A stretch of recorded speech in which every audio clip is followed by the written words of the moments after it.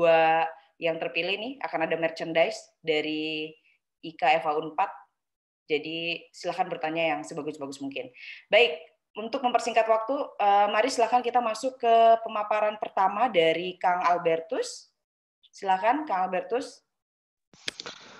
Oke. Okay, uh, dan silahkan diserap ilmunya sebanyak-banyak mungkin, teman-teman. Silahkan, Kang Albertus. Oke, terima kasih Idaman. Uh, ini mau saya share screen aja. Oh, langsung dari Idaman ya? Oh, dari oke okay, dari KA langsung. Oke. Okay. Ya. Oke, okay, terima kasih banyak teman-teman.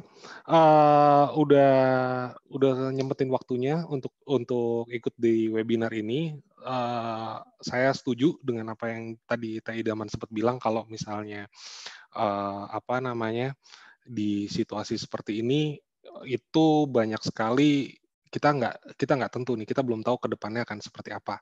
Nah sebelum saya mulai saya mau mengucapkan terima kasih sebesar besarnya untuk uh, Kang Kidui dari IKAF 4 untuk kesempatan saya bisa sharing seperti ini. Terus habis itu juga saya juga makasih untuk para dosen, untuk teman-teman mahasiswa yang sekarang hadir dan alumni Universitas Pajajaran yang saya hormati. Terima kasih banyak. Uh, sebagai perkenalan, nama saya Albertus Pratama atau biasa di, dari kampus itu udah dikenal dengan Gori. Seper, sama seperti kalian, saya juga dulu dari Eva Unpad. Itu uh, foto saya waktu 10 tahun lalu, masih muda. Dan saat ini saya bekerja sebagai konsultan, recruitment consultant untuk legal dan government relations, yang mana uh, sebenarnya saya hanya hire atau saya hanya approach orang-orang yang di bidang legal dan government relations. Jadi saya tidak tidak melakukan uh, talent acquisition untuk di bidang lain. Jadi cukup hanya legal dan government relations. Itu mulai dari mid senior atau pengalaman lima tahun sampai uh, legal director atau bahkan ada beberapa company yang meminta CEO itu dengan background legal. Itu juga saya itu juga saya yang pegang. Jadi untuk role yang saya pegang itu mulai dari mid uh, mid senior yang notabene itu mungkin lebih ke mid associate kalau di law firm atau legal counsel itu sampai ke legal director. Sebelum saya join di Robert Walters Indonesia, uh, saya tujuh tahun sebagai lawyer dan mereka memang dari Robert Walters ini mereka hanya meng-hire untuk mengerjakan rekrutmen konsultan legal itu dari lawyer itu sendiri. Jadi memang saya diminta oleh Robert Walters Indonesia pada saat itu job desk saya hanya untuk merekrut orang legal gitu. Saya FH4 2007. Oke, mungkin slide selanjutnya. Uh, Raisa. Uh, sebelumnya, sebelumnya. Oke. Okay. Di webinar kali ini saya akan ngebahas soal uh, apa namanya kiat-kiat gimana caranya job seeking in times of in, uh, uncertainty. I mean in this sorry. Dalam situasi seperti ini saya berusaha untuk memberikan encourage kepada teman-teman yang saat ini sudah bekerja atau yang teman-teman yang baru lulus atau mungkin kiat-kiat untuk teman-teman mahasiswa nanti uh, gimana sih caranya untuk mendapatkan kerja gitu. Jadi ada pertama tapping into all your resources, terus attract how to attract your employers to your profile and making your application and CV stand out and lastly getting recruiters to work effectively with you. Uh, untuk yang nomor empat ini mungkin kalian belum familiar karena saya yakin di dunia mahasiswa itu belum pernah kenal yang namanya recruiters karena saya sendiri itu baru tahu ada yang namanya role seperti saya yang memperkenalkan lawyer ke perusahaan itu baru sekarang. Jadi sebelum saya join Robert Walters, saya nggak pernah tahu ada role ini sebelumnya sampai begitu saya masuk di Robert Walters. Uh, nanti di sesi, di sesi terakhir kita bisa sharing-sharing, kita ngobrol-ngobrol apa sih yang mau ditanyain dari uh, presentasi saya ini. Oke, okay, selanjutnya. Oke, okay, tapping into all your resources. Basically, it's all of your resources. Jadi uh, untuk mencari kerja kalian jangan pernah malu-malu. Your networks, your networks ini kalau misalnya saya bisa mengklasifikasikan itu ada dari teman kerja, neighbors, neighbors itu atau teman-teman yang sebenarnya basically kamu nggak akan nyangka juga kalau misalnya teman kamu itu uh, tetangga kamu tuh juga bisa bawa pekerjaan buat kamu. Jadi it's not wrong if you talk to your neighbors and basically just uh, maybe asking help. Hey, do you have any uh, do you have any job vacancy out there atau ada nggak sih sebenarnya kerjaan uh, kerjaan di luar sana ngobrol aja, buka omongan sama siapa aja untuk membuka peluang kamu mencari kerja. Yang kedua, friends and family. It's obvious. Untuk teman kamu dan keluarga kamu juga pasti akan uh, apa ya? Kalau misalnya boleh saya bilang, keluarga dan teman kamu pasti akan mendukung kamu untuk mencari kerja. Job boards atau uh, job vacancy yang sekarang udah ada di mana-mana. Virtual job search ada LinkedIn. Sorry, job boards itu tadi ada LinkedIn. Untuk virtual job search itu there are a lot of events uh, contohnya kayak gini di di event seperti ini kamu bisa ngelihat teman uh, teman-teman mahasiswa alumni alumni yang kamu nggak pernah ketemu sebelumnya kamu bisa connect dengan mereka di LinkedIn dan atau kamu bisa connect dengan sosial media lainnya dan selanjutnya ya lemparkan pertanyaan kamu kembali ke nomor satu yang your networks itu tadi. Recruitment consultancy kamu bisa tap in ke saya atau ada beberapa recruitment consultancy uh, recruitment consultancy di Jakarta sebenarnya. Tapi sejauh yang saya tahu yang memang khusus untuk legal itu da, itu baru dua dan salah satunya saya. Tapi yang backgroundnya betul-betul dari lawyer itu baru saya aja sejauh ini. Yang terakhir sosial media cukup jelas kamu mulai dari WhatsApp WA group uh, eh, FB banyak banget tempat-tempat untuk mencari ada pekerjaan apa di luar sana oke okay, next hmm, ya yeah, next Uh, attracting employers to your profile. Ini aku memberikan kiat-kiat. Sebenarnya apa sih yang harus dilakukan uh, on attracting employers to your profile? The first one, keep it professional on LinkedIn. It's really important to keep it professional on LinkedIn. Kenapa? Karena LinkedIn itu sebenarnya di tahun 2020 atau di zaman digitalisasi ini LinkedIn itu adalah CV kamu.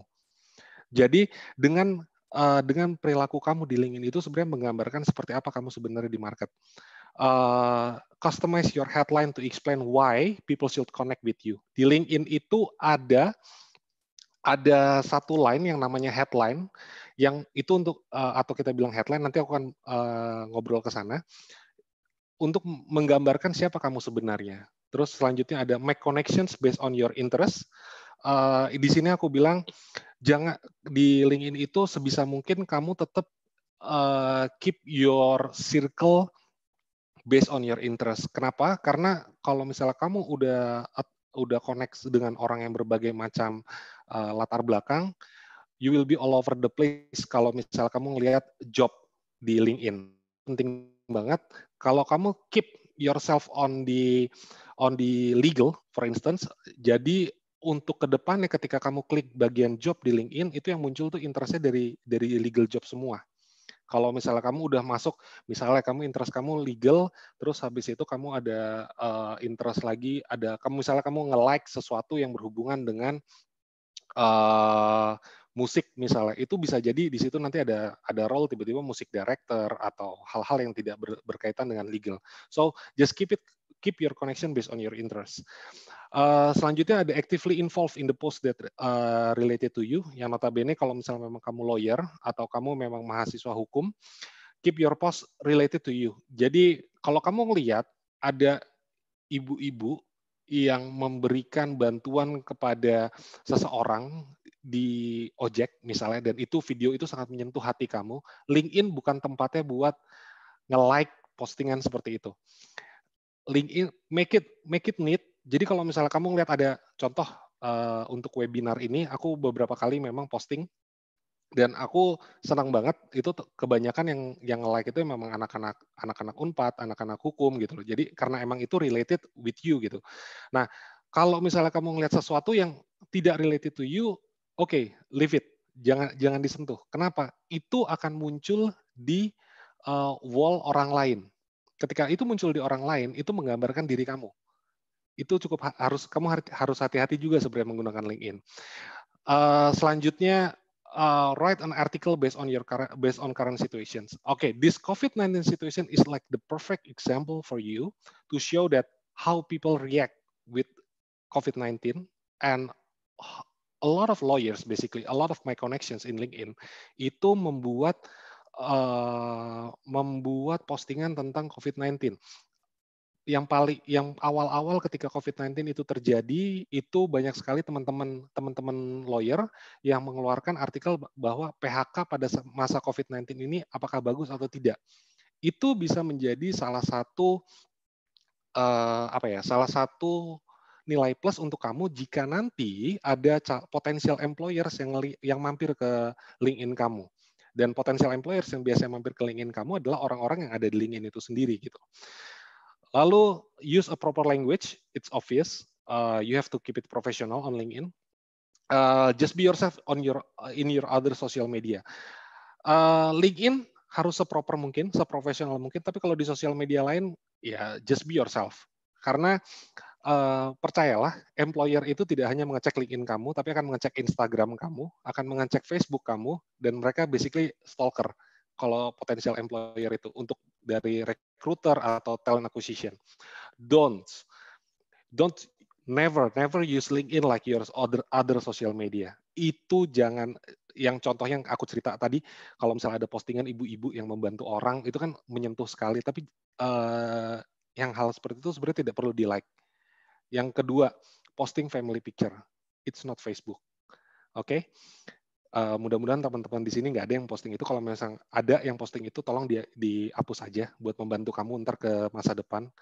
Terus habis itu yang terakhir, socially liking other posts that not related to you at all. It's not Facebook itu kembali lagi aku menekankan kenapa? Karena jujur LinkedIn itu juga menjadi salah satu sources aku buat nyari kandidat.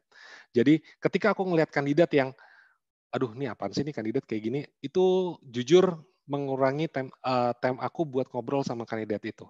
Dan itu juga bisa mengurangi kamu yang sebenarnya berprofil bagus dan tahu uh, secara profesional seperti apa, tapi jadi turun uh, nilainya cuman karena uh, cuman karena postingan kamu yang sebenarnya tidak perlu kamu lakukan di LinkedIn. Oke, okay. next question aku uh, next slide aku akan kasih contoh profiling in. Si, di sini ada profiling in.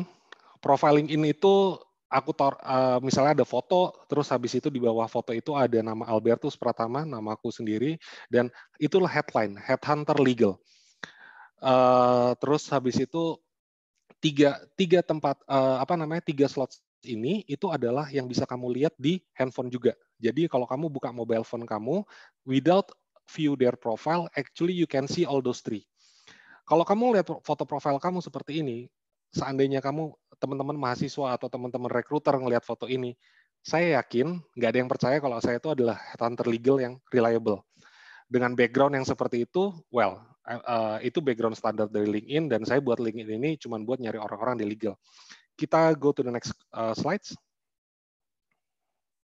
Di sini uh, saya menggambarkan bahwa uh, as I as I mentioned before, keep your headline to explain why people should connect with you.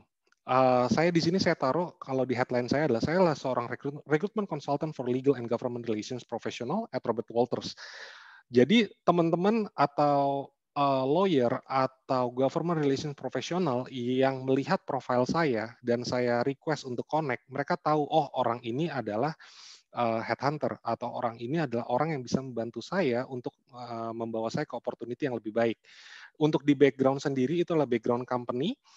Untuk foto gunakan foto profesional. It's not necessary uh, foto kamu yang paling bagus, tapi gunakanlah foto profesional yang sebisa mungkin sendiri, kayak gitu. Jadi untuk LinkedIn ini, untuk teman-teman mahasiswa yang di headline, headline itu kamu bisa tulis uh, undergraduate bachelor of degree, uh, bachelor of law candidate from Universitas Pajajaran. Itu kamu bisa tulis itu atau uh, bachelor bachelor di bachelor of law candidate uh, at Universitas Pajajaran atau kamu bisa mungkin tulis fresh graduate at Universitas Pajajaran. Itu lebih menjelaskan atau kamu mau meningkat lagi dengan menjelaskan skill kamu. Uh, misalnya di headline itu kamu bisa tulis uh, fresh graduate from Universitas Pajajaran with uh, excellent organization uh, excellent organizational skills from ALSA atau mungkin uh, kamu bisa bilang kalau misalnya Bachelor of Law candidate of Universitas Pajajaran with one trophy of MCC apa gitu. Itu itu bisa kamu jelaskan di headline itu. Jadi karena profil ini adalah sangat penting, kamu taruhlah itu di headline karena itulah tiga hal yang bisa kelihatan di uh, handphone. Jadi ketika ketika recruiter sedang scrolling scrolling di handphone, dia ketika dia lihat itu ya dia bisa membaca, oh kenapa nih saya harus buka profil ini? Oh, oh dia ini pernah juara Civis misalnya, atau dia pernah juara MCC uh, MCC Joksut atau MCC Alsa. Oh, oke okay deh, I'll check uh, his or her profile. Oke, okay, to, to the next slide. Oke, okay, five ways to make your CV stand out. It's easy. Honestly, it's easy. First one, tailor your CV to your to the job tailor your CV to the job uh, itu berarti kamu jangan pernah membuat CV yang terlalu general. Contoh, kalau ketika kamu fresh graduate fine, tapi kalau misalnya kamu sudah bekerja dengan satu tahun atau dua tahun pengalaman dan kamu mau menuju ke misalnya kamu mau pindah company, uh, kamu harus membuat CV kamu itu related dengan company yang akan kamu apply. Misalnya, kamu memba kamu adalah seorang capital market lawyer dan company yang kamu apply itu adalah uh, eh, FMCG misalnya, yang notabene uh, yang dia yang mereka cari itu adalah seorang uh, corporate secretary officer misalnya. Nah, ketika ketika kamu membuat CV kamu ya kamu buat di CV kamu tuh khusus untuk corporate secretary job. Jangan pernah melenceng dari situ. Itu harus diperhatikan baik-baik karena ada beberapa teman yang bikin CV sampai panjang banget. Sampai panjang banget sorry. Sampai panjang banget dan mereka melupakan bahwa apa sih yang sebenarnya tujuan tujuan dari CV itu? Kayak gitu. Yang kedua itu masuk yang kedua keep it short and succinct. Sebisa mungkin CV kamu itu tidak perlu terlalu panjang tapi kalau aku boleh ngambil bahasa Pertamina tuh pasti pas jangan terlalu panjang jangan terlalu pendek juga pasti pas aja jangan jangan sampai kamu overselling yourself dan jangan sampai kamu underselling yourself. It's it's all about teknik sebenarnya. Yang ketiga, provide specific achievement. Ini kita mulai masuk ke teknis bagaimana sih nulis CV yang baik. Semua achievement kamu itu masukkan ke dalam CV. Sekali lagi, semua achievement kamu. Kenapa aku bilang semua achievement kamu? Karena achievement kamu itu not necessary your award. Tapi kamu bekerja itu pasti ada achievement-achievement. Contoh, uh, kalau aku ambil contoh dari teman-teman mahasiswa, uh, misalnya berhasil berhasil mendapatkan nilai A di hukum dagang, itu achievement. It, uh, dulu Prof Man itu agak sulit dapat dapat nilai A, tapi berhasil mendapatkan nilai A di hukum da, di kelasnya Prof Man itu achievement buat saya. Dan itu juga achievement juga buat kalian. Dan kalau misalnya kalian dalam dunia kerja misalnya uh, kalian itu mengerjakan uh, M&A transaction yang nilainya 100.000 USD, uh, terus habis itu kalian involve di tim itu, itu achievement. Jadi achievement itu bukan award kamu, tapi achievement adalah apa yang kamu kerjakan. Kadang-kadang orang sering uh, sering melihat sering mengunderestimate apa yang sudah dia kerjakan. Dia mungkin sudah pernah mengerjakan sebuah transaksi yang jutaan dolar, tapi di situ dia merasa, oh saya ini cuma support aja gitu loh. Tidak ada yang namanya support. Yang ada setiap orang punya peran masing-masing. Kalian itu penting. Yang terakhir, ensure no typos or grammatical errors. This is really important. We are lawyer and people pay us a lot just to make a legal opinion and make sure our legal opinion is there's no typo. What if we make a CV and there's a typo? Wouldn't they trust us? Jadi pastikan CV kamu itu tetap uh, no grammatical error. Uh, boleh lanjut, Raisa? Oke, okay. three ways to make your application stand out. The first one, think about who you're keep uh, who are playing.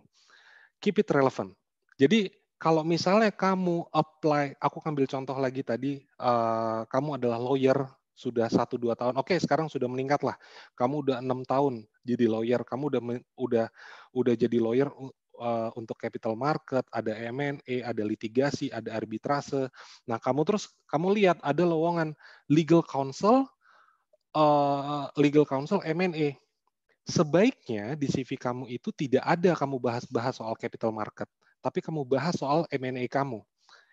Jadi instead of kamu membabarkan, menjabarkan semuanya, tapi kamu pilihlah uh, apa namanya notable notable achievement kamu itu di dalam uh, yang relevan sesuai dengan pekerjaannya.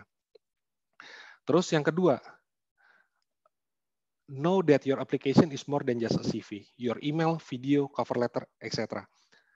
Di era digitalisasi ini, kamu sebenarnya kalau kamu ngirim CV kayak dulu yang harus taruh di print, taruh amplop, terus harus datang ke company-nya, kamu berikan, itu udah zaman dulu.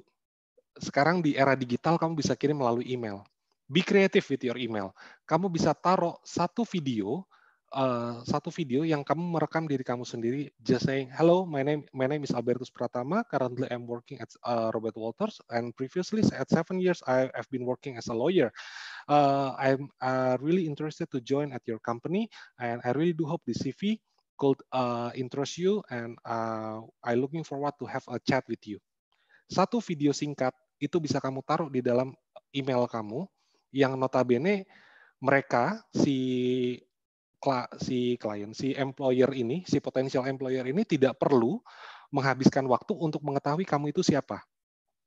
Jadi di, kamu bisa membuat sebuah video di situ. Instead of cover letter yang panjang, sekarang kamu kan udah bisa attach video yang notabene video itu tidak lebih dari 3 megabyte yang cukup menampilkan diri kamu dan kamu cerita di sana. Kamu itu siapa. Dan CV kamu nanti aku akan jelaskan gimana CV yang baik. Yang terakhir, make sure you write your achievement that defines you. Itu kembali lagi di awal, achievement-achievement yang bisa kamu taruh di cover letter, yang bisa kamu omongin di video, itu adalah sesuatu yang mendefine who you are and why you are here. Jadi kalau misalnya kamu taruh achievement, oke, okay, juara lomba renang Eh, juara lomba renang tingkat kecamatan 2020 dan itu kamu kamu kamu sampaikan di video sedangkan kamu apply ke untuk lomba catur itu bukan sesuatu yang itu bukan sesuatu yang sangat nyambung kan? Jadi usahakan itu jangan sampai terjadi. Oke okay, kita next question uh, next slide sorry. Things that don't help your application. Oke okay. di sini saya akan sedikit uh, sedikit menitik beratkan. Ini yang sering terjadi. Pertama multiple application for different jobs to the same company. Ada dan aku hampir tiap hari terima ini adalah terima applications buat uh, same company yang notabene itu mereka apply satu legal misalnya dia ada legal counsel uh, litigation, legal legal counsel general corporate, ada legal legal counsel uh, e-banking dan itu mereka apply tiga-tiganya never do the never never never never never do it. Kenapa? Karena karena aku sebagai orang yang mau interview kamu, aku lihat kamu tuh sebenarnya mau apa? Kenapa kamu harus apply ketiga-tiganya? You're not focused with what you want. Yang kedua, generic application that are obviously not tailored for the role. Yang seperti udah aku cerita tadi, orang-orang yang uh, bisa bercerita semuanya tentang dirinya, kadang-kadang tidak ma tidak tahu apa yang mereka inginkan. Jadi pastikan kamu tahu apa yang kamu mau, kamu tahu apa yang mau kamu tuju, dan kamu kamu tuangkan dalam CV dan application kamu. Selanjutnya, overly general requirements kayak I'm interested to work at any position to your company. Sama seperti nomor satu, jangan pernah melakukan itu. Oke, untuk slide selanjutnya, aku akan menjelaskan ada dua CV di sini. Uh, Oke, okay. sorry, sorry, sorry. Uh, Reza, mungkin sebelum kita lanjut ke slide selanjutnya, satu hal lagi. Things that don't help your applications, when you work in a company, make sure that you stay there long enough before you jump to another company. Uh, aku selalu, jadi kalau misalnya kamu kerja di sebuah perusahaan, untuk teman-teman mahasiswa khususnya, atau para fresh graduate, ketika kamu sudah masuk ke satu company, baik itu sebagai intern atau baik itu sebagai uh, associate atau sebagai legal officer atau legal assistant, do your best until you know that you cannot do it or until you find the crossroads. Jadi aku selalu punya punya pemahaman tahun pertama kamu bekerja kamu belajar untuk untuk berada di posisi itu tahun kedua kamu bekerja, kamu sudah cukup belajar dan kamu sudah menjalankan apa yang sebenarnya uh, dibutuhkan oleh company. Tahun ketiga, you have done it for three years, you know that you you can do it, but your career hasn't grown enough, and you you started to think, why should I be here? Di sini, kalau kamu sudah mencapai tahun ketiga, kamu akan mulai looking for job. Atau kadang-kadang di tahun pertama, kalau kamu merasa, aduh nih terlalu sulit, kamu akan mulai looking for job. Tapi aku sebagai recruitment consultant, aku akan bilang sama kamu, apa masalahnya? Kenapa kenapa kamu harus mencari kerja sekarang? Kamu belum kamu belum selesai tahap pembelajaran kamu dan sekarang mas, uh, kamu masih butuh waktu untuk belajar lagi sampai di tahun ketiga. Di tahun ketiga kamu akan mengetahui apa plus dan minusnya kalau misalnya kamu akan stay di sini. Setelah tahun ketiga, kamu akan menjalani tahun keempat, kelima, keenam yang sama. Uh, aku harus cerita, itu ada ada hitungan 3, 6, 9, dan 12 di tahun ke-6, kamu you've been you've been doing the same thing for another three years. You got your promotion, but again, you're in a crossroads. Ini apakah ini waktunya aku buat keluar? Ketika kamu di tahun ke-6 kamu memutuskan untuk keluar, itulah waktunya kamu keluar. Kenapa? Setelah tahun ke-6 itu akan menjadi emotional attachment terhadap company atau law firm kamu. Di tahun ke-6, kamu akan merasa bahwa oke, okay, uh, career progression oke, okay. terus habis itu kerjaan oke, okay. teman-teman oke, okay. nggak ada masalah kok di sini. Aku akan bilang sama kamu, ya udah kalau misalnya emang nggak ada masalah, ngapain keluar gitu. Tapi kalau misalnya kamu sudah mau bilang, oh nggak bisa nih, kalau misalnya setelah ini uh, aku nggak ngelihat diriku jadi partner kayak gitu. Itu mungkin waktunya kamu untuk pindah ke in-house. Misalnya kalau kamu kerja di law firm. Atau kalau misalnya kamu ngelihat kamu kerja di in-house, aduh nggak bisa nih, uh, udah nggak mungkin lagi saya dapat promosi soalnya yang di atas udah family semua. Oke, okay, itu waktunya time to move on. Lalu masuk ke 9 tahun. Di 9 tahun, you've been doing all the same thing for another 8 years. Ini udah waktu yang krusial. 9 tahun, sebaiknya kamu keluar dari tempat itu atau itu akan menjadi comfort zone kamu selamanya kamu bisa melihat banyak sekali orang yang udah 9 tahun kerja, terus habis itu baru mulai cari opportunity di luar. Ketika dia mencari opportunity di luar, itu akan menjadi sangat sulit untuk melepaskan opportunity itu. Kenapa? Karena satu, emotional attachment dari seorang manusia itu tidak terhindarkan. Kamu udah menganggap kantor itu adalah rumah kedua kamu. Dan meninggalkan rumah itu sangat sulit.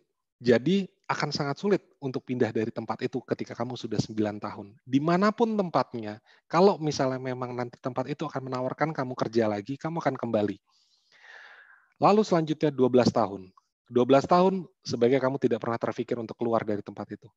Kamu kejar karir kamu, kamu jadikan karir kamu on the top di tempat itu. Nanti di saat, di saat yang sama kamu akan berpikir, oh oke, okay, that's it, I have enough.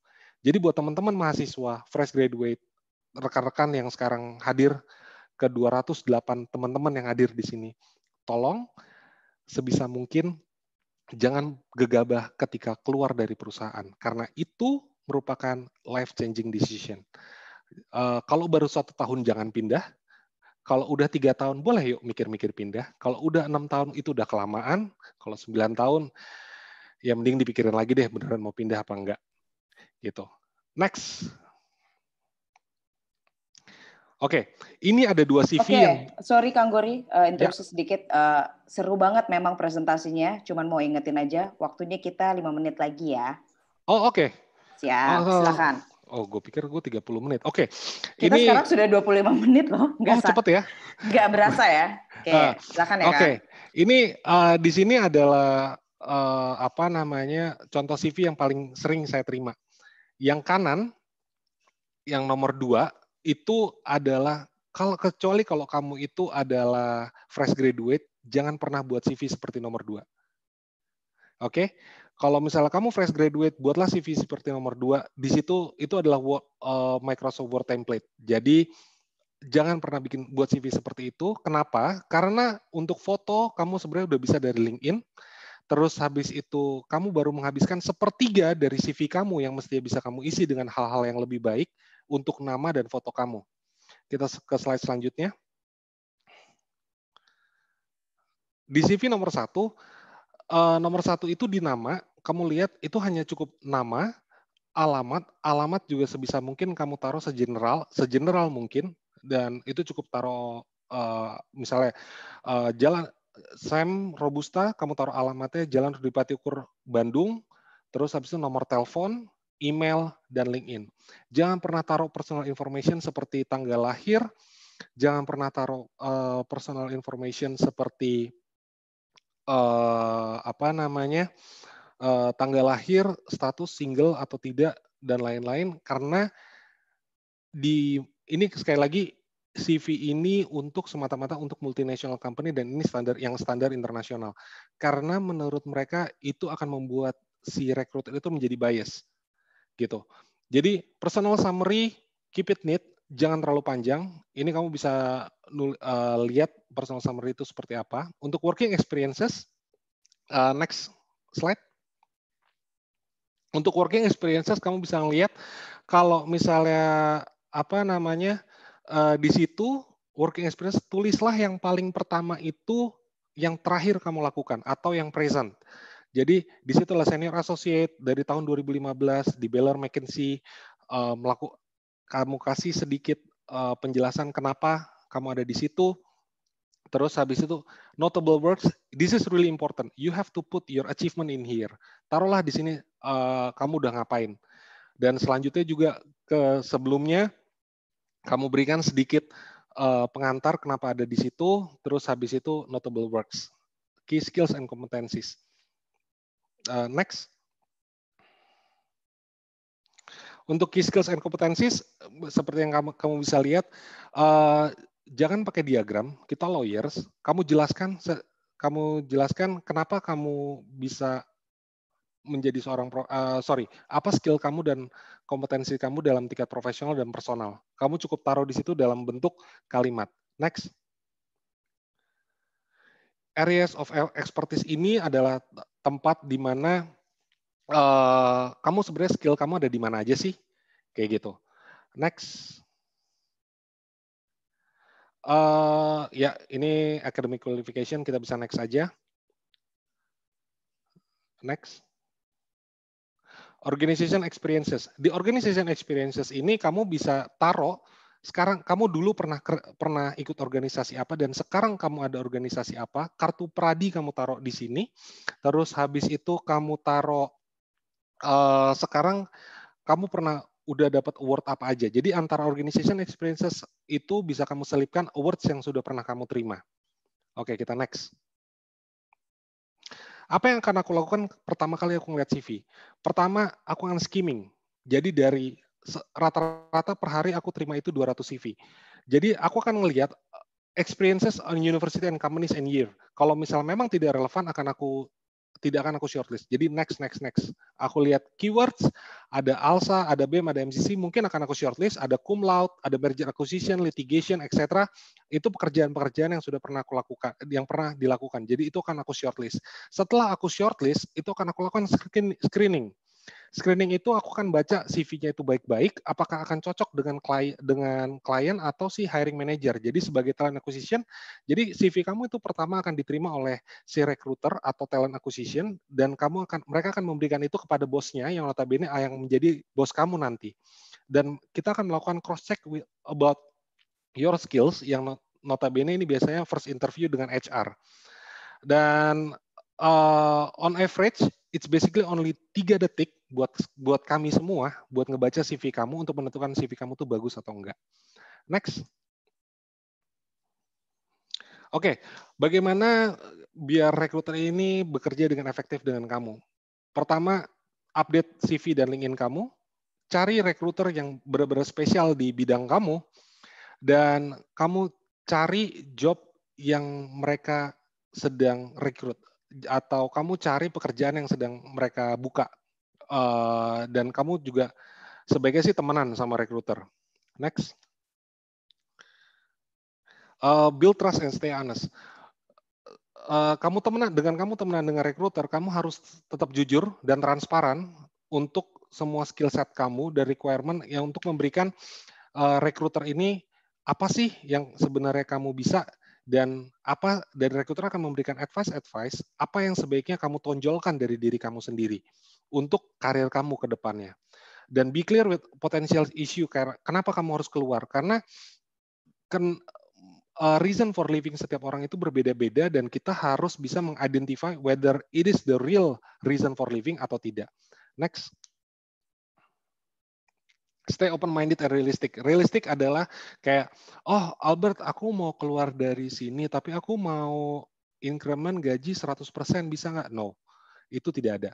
Jadi secara secara karir itu sebenarnya udah ada standarnya sendiri. Kamu itu untuk uh, pindah karir itu di berapa persentage-nya. Terus build a partnership with your recruitment consultant, uh, partnership buat orang-orang seperti aku. From a plan for your job search in partnership. Contoh, kamu sekarang temenan sama aku, tapi kamu baru mau pindah itu sebenarnya tahun depan. Ya, aku nggak akan cari kerjaan buat kamu sekarang, tapi aku akan cari kamu kerjaan mungkin di uh, bulan ke-10 atau bulan ke-11 setelah kita ketemu kayak gitu. Terus be open to feedback on your skill set and your suitability for certain roles and on your interview. Uh, jangan sampai kamu tersinggung dengan uh, obrolan yang menyangkut dengan profesional. Misalnya, kadang-kadang aku cukup sering bilang, oh you are too jumpy, I'm not gonna process you ya yeah, it's it's part of it's basically part of your career. Itu bukan urusan saya buat uh, bukan urusan saya untuk membantu bukan untukkan urusan saya untuk menentukan kamu mau kerja di mana. Tapi ketika kamu sudah jumpy dan saya tidak bisa pegang itu menjadi itu menjadi kesempatan saya. Saya tidak mau pegang CV kamu. Intinya sih seperti itu. Next ini kamu bisa visit ke robertwalters.co.id. Itu di situ ada beberapa webinar yang mungkin bisa kamu ikutin. Terus ada juga career advice. Aku juga pernah bikin uh, artikel eight ways to prepare for a legal job interview. Jadi kamu bisa visit ke sana. Uh, siapa tahu bisa membantu kamu. Oke, okay, next. Oke, okay. mungkin ada teman-teman yang mau bertanya, silakan. Cepat juga ya. Oke, aduh, uh, terima kasih Kang Gori, Kang Albertus Yo. Pratama. Seru banget presentasinya. Tapi sebelum kita lanjutin ke quick Q&A, saya mau greetings dulu. Ada Pak Dandrivanto yang baru hadir. Selamat sore Pak Dandriv. Selamat sore. Selamat Hai sore. Pak Dandriv, apa kabar Pak? Selamat sore. Pak Dandriv. Pak Dandriv, uh, sebelum kita melanjutkan nih dari pemaparan uh, selanjutnya, kita mau ke Q&A. Uh, kita mau dong sepatah dua patah kata perwakilan dari Fakultas Hukum Universitas Pajajaran. Pak Dandrivanto Budihajo, uh, SHLLM, Kepala Departemen Hukum Teknologi Informasi dan Komunikasi serta Kekayaan Intelektual. Silakan Pak Dandriv. Ya, selamat sore. Assalamualaikum warahmatullahi wabarakatuh. Salam sehat. Waalaikumsalam warahmatullahi wabarakatuh. Mohon maaf baru gabung tadi dari dulu Bu Wamen Angela Tanu Sudibyo. Oh, oke, okay. baik Pak. Nah, jadi bahasa terangnya bahasa terangnya acara ini harus wajib ada nggak hanya satu sesi karena yang namanya teman-teman mahasiswa atau mungkin yang sekarang juga sudah berprofesi uh, tetap harus di recharge terus bahwa kehidupan tuh ya nggak gini-gini aja ya gitu. Uh, option bisa dicari uh, teman-teman semua yang udah memiliki uh, experience juga memiliki uh, leadership uh, dalam profesi apa pun perlu share gitu. Karena apa? Dengan adanya virtual uh, engagement seperti ini uh, itu kan akan kita tidak berbatas waktu dan wilayah lagi nih kita nggak perlu harus kumpul di mana, macet cari parkir, valet nggak cukup, minum telat minumnya. Jadi eh, jangan hanya sekali ini aja talk about alumni, sifatnya harus rutin gitu. Itu ada garong nggak di situ? Siap Pak Dandriv. Ini kita ah. untuk sesi alumni talk sendiri kita sudah beberapa kali loh Pak. Jadi mohon Betul. support terus ya Pak. Oh pastilah, jangan kan support. Kalau support mah hanya bahasa politik perlu apa ininya apa kita lakuin perintahin aja lah Oke siap. Ada ada ketua umum IKA juga nih. Jadi nanti kita mau eksekusi ya Kang Kido ya. Kita kita tagih janjinya Pak Dandriv. Oh iya pasti Pak. Tapi saya tahu kok Pak Dandriv itu salah satu yang luar biasa mensupport dan bukan cuma support memang. Kalau bilang support itu hanya sekedar memberikan doa, dukungan, pada itu betul, betul. bisa yang bisa dieksekusi. Kalau siap, bahasa, siap. bahasa terang saya sebagai uh, biar Q&A cepat tuh, gini deh, yang mau jadi talk speaker uh, kata harus nyediain minimal satu slot buat mahasiswa atau yang baru lulus atau yang ingin berinteraksi. Jadi nggak cuma ngomong doang, sorry aja ya, gitu. Kalau cuma nyeritain, oh di begini, oh begitu, tapi dia nggak bisa masukin adik-adik kita, minimal satu slot, udah deh, jangan ngomong dulu deh. Oke, konkret ya, Pak Dandri. Konkret. Ya. Kalau kalian nggak bisa, saya masukin. Mau ke mana? Mau di Gojek, mau di Grab, mau di mana? Mau di Telkomsel, yeah. ada ada Om Andy itu di situ, SDM. So we not about discussion only, we not about talking. Action dong hari gini mah. Kalau emang kita hebat, tunjukin nama adik kita. Eh lo mau masuk tiga bulan bagus lo terus. Satu hari lo gak beres, besok keluar. Gitu loh. Keren, keren, keren, keren. Oke, Siap, lanjutkan Q&A. Iya. Terima kasih banyak Pak Dandrif. Hati-hati di jalan Pak. Insya Allah. Siap Pak. Sama-sama. Baik, um, kita lanjutkan ya ke sesi Q&A kita dari Kang Gori. Ini sudah ada beberapa pertanyaan. Uh, to be honest ya Gor, ini gue juga belajar banyak loh dari pemaparan lo sebelumnya tadi seperti bagaimana outstanding CV kalau udah yang experience itu akan seperti apa, kemudian profiling di LinkedIn ternyata itu penting banget ya. Banget. Gue nggak nggak put the detail sih untuk itu, tapi setelah pemaparan lo jadi lumayan kebayang nih. Oke, yang pertama tadi uh, udah saya catat beberapa. Ya, yang pertama dulu dari Laura Priscilla. Pertanyaannya gini Gor, uh, berapa tahun sih uh, baiknya untuk di satu company ke company berikutnya itu biar kita tuh tidak seperti terlihat uh, kutu loncat gitu. Oke, okay. kalau itu sih tadi tadi juga udah gue sampaikan ya. Kalau misalnya hmm. stay di company itu ada hitungannya yang 3, 6, 9, 12. Dan gue okay. biasanya selalu menggunakan takaran itu untuk melihat bahwa orang ini benar-benar mau pindah atau enggak. Uh, minimal tiga tahun. Itu harus gue jawab.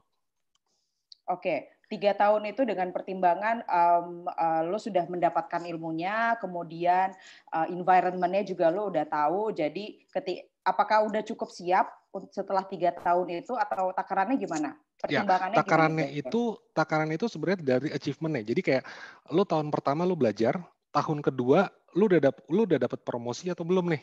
Atau masih kayak masih tahun pertama masih kayak gitu-gitu aja. Di tahun ketiga kalau lu udah ngerasa mungkin kecewa belum dapat promosi atau lu di tahun ketiga itu udah ngelihat oh masih begini-begini aja nih uh, gue di sini. Mungkin ini bukan tempat gue. Mungkin itu bisa jadi waktunya lu buat pindah. Oke. Okay. baik. Gitu.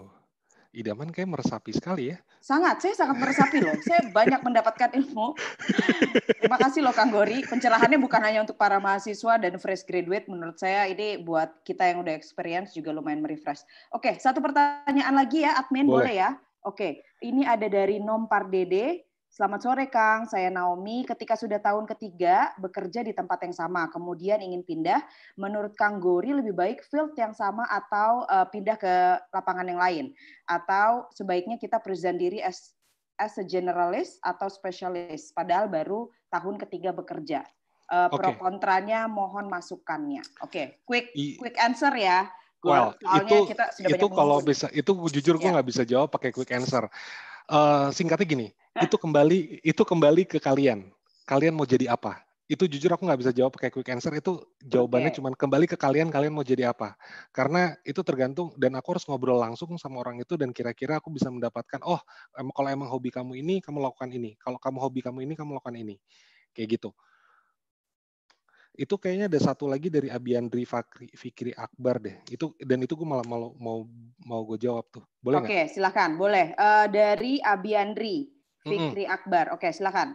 Jadi gini, ada ada beberapa memang untuk field yang menyarankan untuk menggunakan foto. Contoh, uh, marketing, sales marketing semuanya oh, butuh iya. semuanya butuh foto. Tapi karena kita legal person, sebaiknya jangan.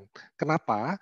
Uh, satu, tadi kamu bisa kamu bisa bilang ada subjektivitas tapi bukan itu poinnya. Poinnya adalah ketika orang membaca CV kamu, dia tahu apa keahlian kamu. Yang seperti aku bilang tadi, kita tuh sebenarnya cuma skimming doang dan butuh tiga detik buat ngeliat, oh oke okay, ini bagus, ini enggak, ini bagus, ini enggak. Dan kita mencoba itu mengefisien seefisien mungkin sebelum kita baca lagi betul-betul CV kamu. Kalau CV kamu udah ada foto duluan, saya udah menghabiskan waktu dua detik buat ngeliat foto kamu dulu sebelum saya baca yang lain. Gitu sih. Oke, Gor. Itu sebenarnya menarik sih karena itu gue pernah punya pengalaman juga agak debate sama HR. Mm -hmm. um, jadi beberapa itu, tapi kalau internasional atau American minded, menurut gue itu yang nggak pakai foto itu uh, cukup lumayan kepake tuh. Tapi di beberapa company ada loh mereka yang melihat dan men-skimmingnya itu dari foto duluan gitu. Nah, apakah untuk uh, kalau lo kan di spesialis uh, legal recruitment nih, mm -hmm. uh, apakah lo berbicaranya ini khusus untuk di legal specialist recruitmentnya atau in general lo mensuggest nggak untuk tidak menampilkan foto untuk Gue hanya ngomong di bagian legal. Jadi okay. untuk lawyer multinational okay. company yang masih yang untuk mencari legal itu yang gue sarankan karena okay. uh, gue juga melakukan training ke beberapa HR HR buat khusus untuk legal ke teman-teman klien gue itu juga gue harus ngasih tahu mereka lu sebenarnya nggak butuh ngelihat yang lain lu cukup butuh ngelihat yang misalnya ada yang dicari keywords keywords inilah yang lu butuhin sebenarnya buat mereka oke okay, oke okay. thank you banget Kang Albert yep. Gori Uh, ini sebenarnya masih ada beberapa pertanyaan lagi, cuman timekeepernya juga udah lumayan galak nih, dua menit kak, dua yeah, menit yeah, kak. Oke, okay. yeah, kita yeah, nanti, yeah. pokoknya teman-teman yang masih penasaran dengan Kang Gori, pokoknya bisa through by email atau uh, nanti bisa langsung deh tanya-tanya langsung. Oke, okay. kita mau ke uh, narasumber kita yang kedua. Sekali lagi terima kasih Kang Albert Gori. Sip. Thank you Gor. Uh, yang kedua kita akan uh, ketemu dengan Teh Dita Wira Praja Oke, okay, silakan admin sudah siap untuk pemaparannya juga Teh Dita udah siap nih kayaknya. Hmm, jadi langsung dimulai aja nih Teh Daman. Silahkan, tapi sebentar mau ada video, video singkat. Baik, baik. Silahkan dinikmati. Ada suaranya nggak sih? Suaranya keluar nggak? Kayaknya nggak keluar ya. Oke, ini sebenarnya video singkat uh, Teh Dita. Teh Dita juga merupakan founder dan principal trainer of DW Advocate Indonesia. Teh Dita juga merupakan HR business partner pada PT Pertamina Persero.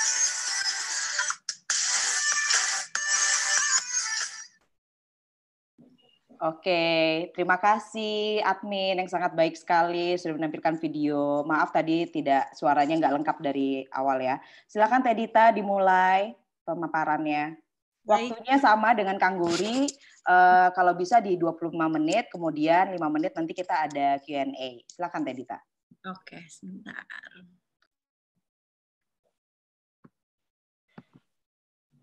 Oke, udah mulai kelihatan belum ya? Sudah teh? Sudah kelihatan. Oh, sebentar. Oke, okay, sudah. Sudah. Hai semuanya, senang sekali saya bisa bergabung di sini. Terima kasih banyak kepada IKA, FH Unpad, Teh Idaman. Tadi Kang Gori juga sudah memberikan um, presentasi yang luar biasa. Thank you so much for the opportunity.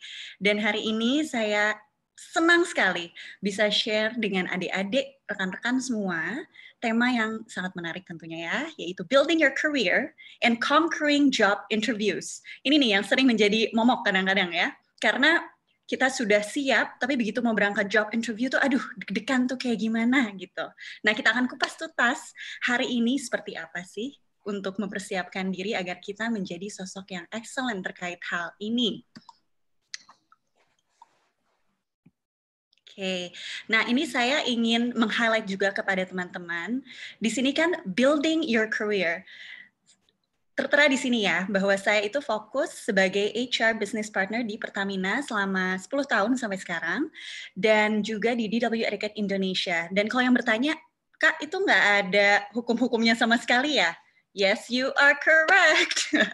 Jadi memang meskipun kita backgroundnya itu dari hukum, ada banyak sekali di luar sana pekerjaan yang so wide and so big that we can definitely choose. Jadi jangan khawatir kepada teman-teman yang ngerasa, aduh kalau saya bekerja tuh nanti seperti apa sih? Hey, apalagi sekarang ini zaman COVID di luar sana banyak sekali posisi-posisi yang tentunya malah tidak terbayangkan oleh kita sebelumnya gitu. Apakah itu youtuber, apakah itu sebagai um, speaker atau hal-hal yang sebelumnya mungkin tidak tidak terfikirkan oleh kita gitu.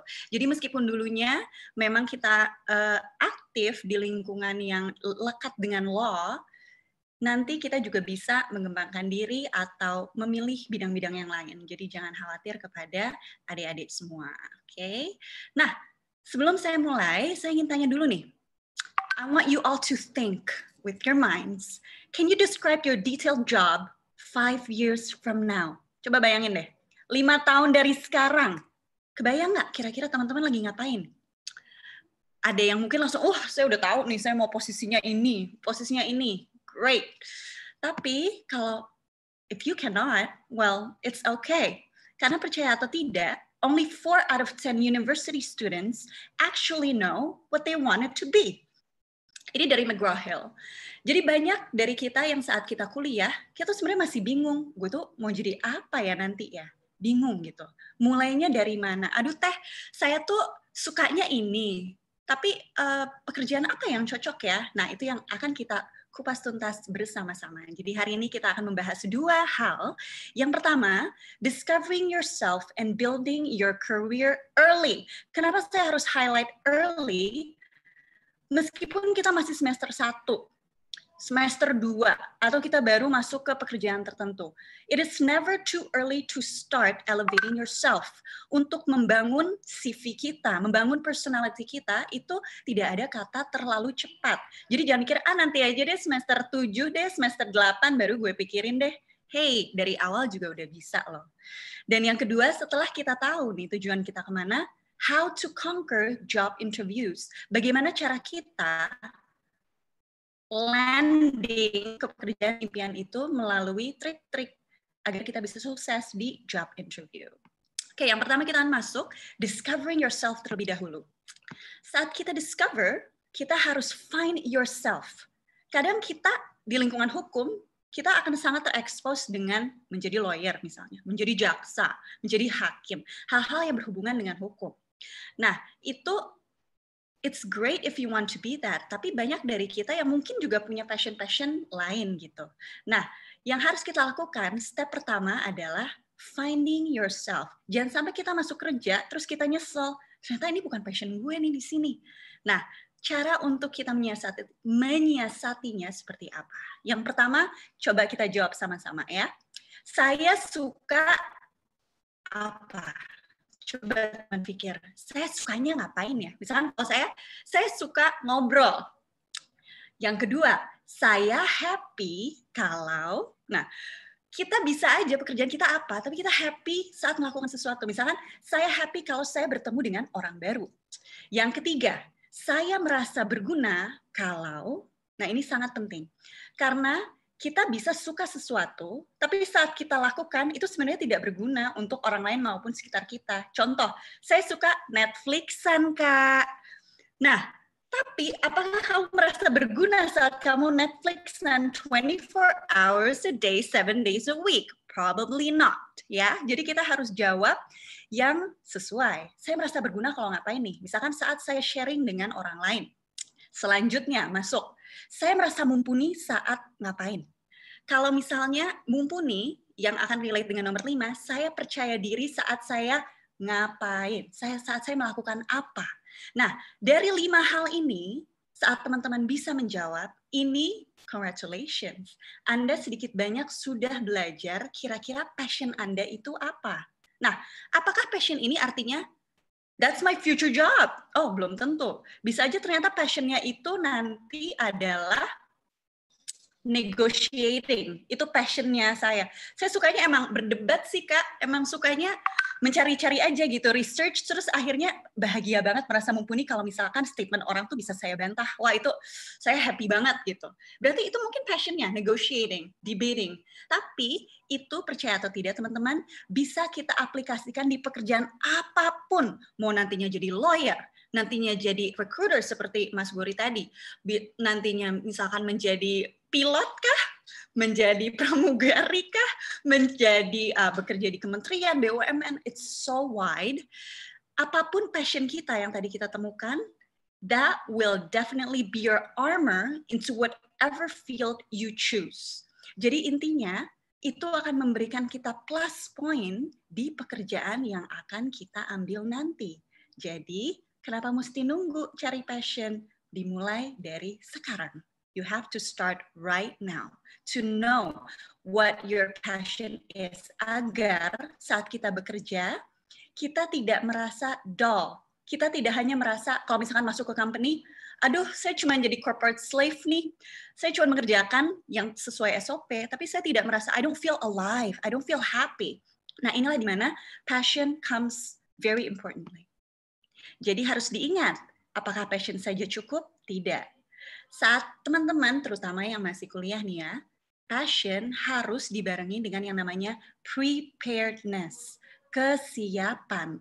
Nah, kesiapannya gimana itu akan kita kupas di slide selanjutnya. Dengan adanya passion dan persiapan yang pas, itu akan menjadikan Anda mendapatkan bright, white future. Jadi jangan khawatir, apakah nanti saya akan dapat kerja ya? Apakah nanti ada? Apabila kita berusaha, pasti ada jalan. Itu yang harus kita ingat. Oke? Okay? Nah, kita misalnya nih sudah tahu passion kita apa. Mau sudah tahu atau belum, no problem. Tapi saat kita masih kuliah, terutama kita bisa mulai nih membangun head start, mencuri start dari rekan-rekan yang lain. Misalnya, kita kalau misalnya reminis zaman dulu kan suka ya kadang-kadang selesai eh, nggak uh, ada dosen atau misalnya selesai kampus ya udah deh kita minum es kelapa dulu ya hangout di kelapa gitu ya di es kelapa yang deket uh, kampus gitu nah why not you start right now untuk curi start building your own CV, building your own personality. Caranya seperti apa? Contohnya, mulai aktif di organisasi kampus. Menjaga IPK agar cukup. Penting nggak sih Kak IPK tinggi? Tidak, IPK bukan segalanya. Dan tidak memastikan seseorang itu akan baik dalam pekerjaannya. Tidak. Tapi, believe it or not, kalau teman-teman mau masuk nanti ke perusahaan, hal pertama yang dicek apa sih? kelengkapan administrasi kan dan ada minimal IPK. Ya at least cukuplah untuk bisa nantinya masuk ke pekerjaan yang kita inginkan. Yang selanjutnya aktif di kegiatan sosial. Memiliki prestasi di bidang akademis. Misalkan kalau kita di Fakultas Hukum, ikutlah mood court, ikutlah misalnya debate, ikutlah kegiatan-kegiatan yang terkait di kampus, ikut ALSA, dan nantinya bisa ikut lomba-lomba yang berkaitan dengan uh, background kita gitu. Jadi kalau misalnya kita ditanya nanti, oh ini fakultas hukum dulu pengalamannya apa? At least we have pengalaman gitu. Kalaupun tidak harus menang, paling tidak punya pengalaman. And that is very important untuk pihak HR mengetahui itu gitu. Karena pengalaman saya selama 10 tahun di HR, seseorang yang IPK-nya perfect 4 dibandingkan seseorang yang IPK-nya hanya misal 2,75 tapi dia sangat aktif, dia memiliki link yang banyak, dia memiliki plus point yang banyak, kita pilihnya yang 2,75, percaya atau tidak. Oke, okay? jadi harus uh, pastikan kita itu well balanced. Lalu selanjutnya, mulai sekarang, mulai deh punya target one day one productive task. Kalau misalkan lagi mager, pengen di rumah gitu, no problem. Tapi paling tidak one day itu kita melakukan sesuatu yang bisa membuild CV kita gitu. Nah, yang selanjutnya building network. Soan lah sama alumni, join organisasi, ketemu sama individu-individu, jangan takut untuk membuka diri, ngobrol sama orang baru, karena tadi sudah di-mention juga oleh Mas Gori, we can find jobs everywhere. Sampai pernah saya ibaratnya dapat proyek itu dari seseorang yang saya kenal di mana di mall lagi ngantri mau bayar ya itu kita ngobrol nggak sengaja tiba-tiba saya diundang untuk menjadi speaker di perusahaannya dia siapa sangka ya kan ke mall kita cari uh, cari tadinya hanya mau beli pampers gitu misalnya eh tiba-tiba landing a job we don't know Selanjutnya, sortir rekan-rekan ring satu kita, orang-orang terdekat kita, itu orang-orang yang positif. Artinya apa sih? Berteman itu boleh dengan siapa aja, wajib temenan dengan siapa aja. Tapi hati-hati saat memilih teman dekat. Pilihlah yang memang support kita ke arah yang lebih baik. Kadang-kadang kita pengen nih berubah gitu. Kita pengen, wow, I want to do this, I want to do that. Teman-teman dekat kita yang kayak, aduh lo ngapain sih, kerajinan banget, udahlah, udah udahlah kita hangout aja lah gitu buyar di akhirnya rencananya. Nah itu yang kenapa kita penting untuk kita mengelilingi diri sendiri dengan orang-orang yang positif. Next, hargai diri sendiri. Ini kalau misalkan saya dari segi seorang HR, segi seorang profesional, segi dari seorang wanita, hargai diri sendiri apa? kita harus mulai melakukan hal-hal yang baik agar orang lain juga menghargai kita. Contoh menghargai diri sendiri apa sih? Yang pertama, lakukanlah kegiatan-kegiatan yang positif. Jangan sampai kita terjerumus ke pergaulan yang kurang baik. Apalagi kalau lagi kuliah, jauh dari orang tua, yang ngekos gitu ya. Selalu berpikir positif. Orang tua kita udah capek-capek nih muliain kita. Kita harus selalu berpikir apa yang bisa kita berikan untuk orang tua kita atau keluarga kita. ya. Dan yang selanjutnya, make a five-year timeline. Jadi harus mulai sekarang nih. Terserah timelinenya apa. Mau, saya mau udah menikah aja teh, boleh. Saya mau sudah bekerja di law firm top notch Jakarta, boleh. Saya sudah mau jadi anchor misalkan, boleh. Anything you want. Yang penting every day, step by step, kita sudah mulai untuk masuk menuju tujuan kita. Oke. Okay? Nah, selanjutnya, kalau kita masih belum tahu nih sampai sekarang, saya mau jadi apa, tidak apa-apa, bukan berarti kita jadi berdiam diri, kita nggak ngapa-ngapain. Kita bisa menambah atau elevating ourselves dengan soft skill atau positive things yang pastinya akan terpakai di semua lini pekerjaan. Apa aja sih contohnya? Yang pertama, bahasa Inggris. I cannot underline how important it is right now for us to speak English. Itu sudah bukan lagi menjadi sesuatu yang sesuatu yang mewah ya, itu harus menjadi sebuah kebutuhan teman-teman.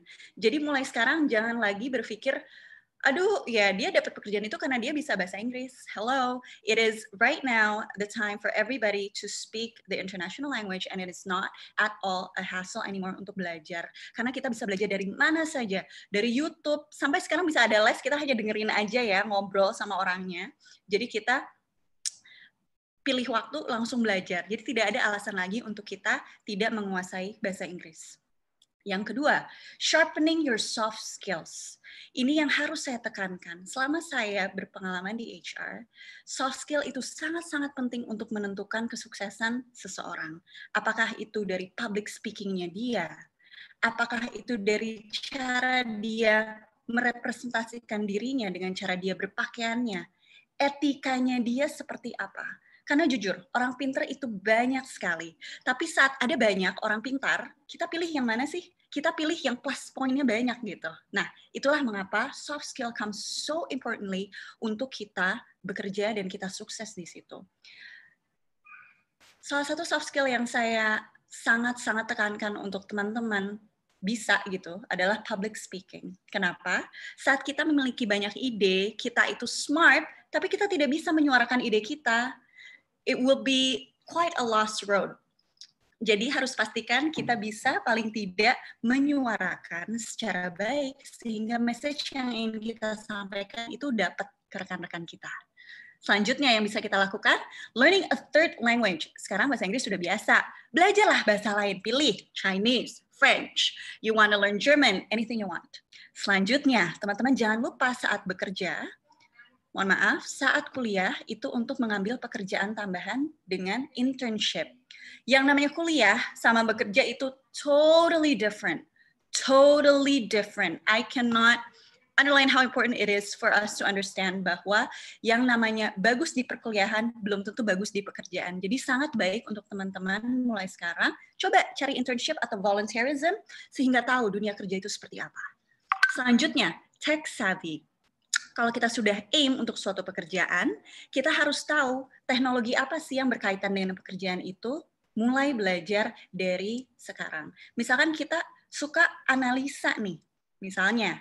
Nah, kalau di Fakultas Hukum kita kan nggak belajar nih Excel secara mendalam ibaratnya. Nah, mulai sekarang kalau kita suka uh, analyzing data and everything, dari sekarang jago-jagoin deh gitu semua aplikasi yang berkaitan dengan pekerjaan yang dituju. Dan yang selanjutnya ini juga sangat-sangat lekat yang namanya image is very important. Saya bukan bilang kita harus fake, kita harus tidak menjadi diri sendiri, bukan, tapi kita harus selalu aware bahwa apa yang kita post di social media itu akan dilihat loh oleh HR, akan dilihat loh oleh future employee. Itu seperti CV kita berjalan gitu. Jadi kalau menurut saya platform apa pun itu pastikan sebelum kita post kita berpikir dulu ini impactnya apa ya nanti sekiranya orang melihat postingan ini ini yang harus uh, lekat di pikiran teman-teman sebelum memilih suatu posting. Oke, okay, itu dari sisi yang pertama dan kita akan masuk ke sisi yang kedua. Kita udah tadi finding ourselves, inginnya kita seperti apa sih gitu. Nah, yang tahapan selanjutnya kita langsung melamar. Alhamdulillah tiba-tiba dipanggil nih. Lalu tes tahapan pertama, kedua, ketiga, keempat lolos, tiba-tiba bisa datang ke Jakarta untuk interview. Nah, lo langsung deg-degan, oke? Okay? Apa yang harus kita lakukan? Tahu atau tidak teman-teman, 74% of candidates failed during interview. Dan ini bukan sesuatu yang aneh. Karena bisa saja seseorang they look great on their CV, begitu datang yang tadi saya bilang soft skill tadi, presenting themselves-nya itu tidak baik, tidak menunjukkan manner yang baik, etika yang baik gitu. Dan itu akhirnya berdampak, wah kayaknya gue nggak bisa nih kerja sama orang yang seperti ini. Kayaknya dia terlalu wild misalnya, atau dia terlalu bagaimana. Nah, ini yang harus kita pahami. Jadi succeeding on interview ada dua hal yang harus teman-teman lakukan. Prepping on the inside and prepping on the outside. Udah kayak iklan ya, but it's true. You gotta pre prepare from two sides. Jadi kita harus lihat road to interview success. Yang pertama teman-teman harus Know your battlefield. Jangan berperang dengan membawa senjata yang salah, teman-teman. Ya, kita harus tahu nature of bisnisnya tuh apa. Anda melamar ke mana? Law firm, Anda melamar ke BUMN, Anda melamar ke kementerian, atau industri kreatif, misalnya ke majalah atau hal yang lainnya, itu semua rule-nya berbeda saya tidak bisa menjembrengkan satu persatu karena itu kelasnya udah pasti banyak seharian. Jadi intinya kita harus tahu nature of bisnisnya tuh apa. Dan percaya atau tidak, semua itu ada ilmu dan ada aturan tidak tertulisnya masing-masing. Seperti contoh, kalau misalkan kita melamar ke BUMN atau ke kementerian yang notabene lebih formal ya dibandingkan dengan di majalah misalnya. Kita nggak bisa kita datang lalu sudah pakai gel manicure warna-warni tiga warna ya udah bendera dari delapan negara itu kita kita pasang itu sudah pasti akan memberikan kesan yang tidak baik. Beda kalau misalnya kita mau melamar jadi uh, di TV, mereka mungkin tidak peduli gitu, malah lihat oh keren nih, ini pas nih untuk creative director misalkan gitu. Nah ini yang harus kita pahami. Dan yang selanjutnya, first impression is your lasting impression. Artinya apa sih teh? Artinya, the moment you walk into that interview room, 30 detik pertama, seluruh mata akan mengakses dirimu, akan mengakses Anda. Ini orang-orang orangnya kira-kira kayak gimana ya? Contoh, misalkan kita mau interview di daerah Monas, deket-deket Monas itu. Rumah kita jauh ya dari jauh lah. Lalu kita ke sana naik Gojek karena kita terlambat. Lalu hujan di jalan, udah basah kuyup semua. Bete, kesel ya. Begitu masuk, boro-boro kita senyum misalnya. Lalu kita masuk, lu bilang, aduh iya nih Pak, tadi uh, di jalan gini-gini. Nah, 30 detik pertama orang sudah menilai Anda yang pertama, Anda tidak rapi.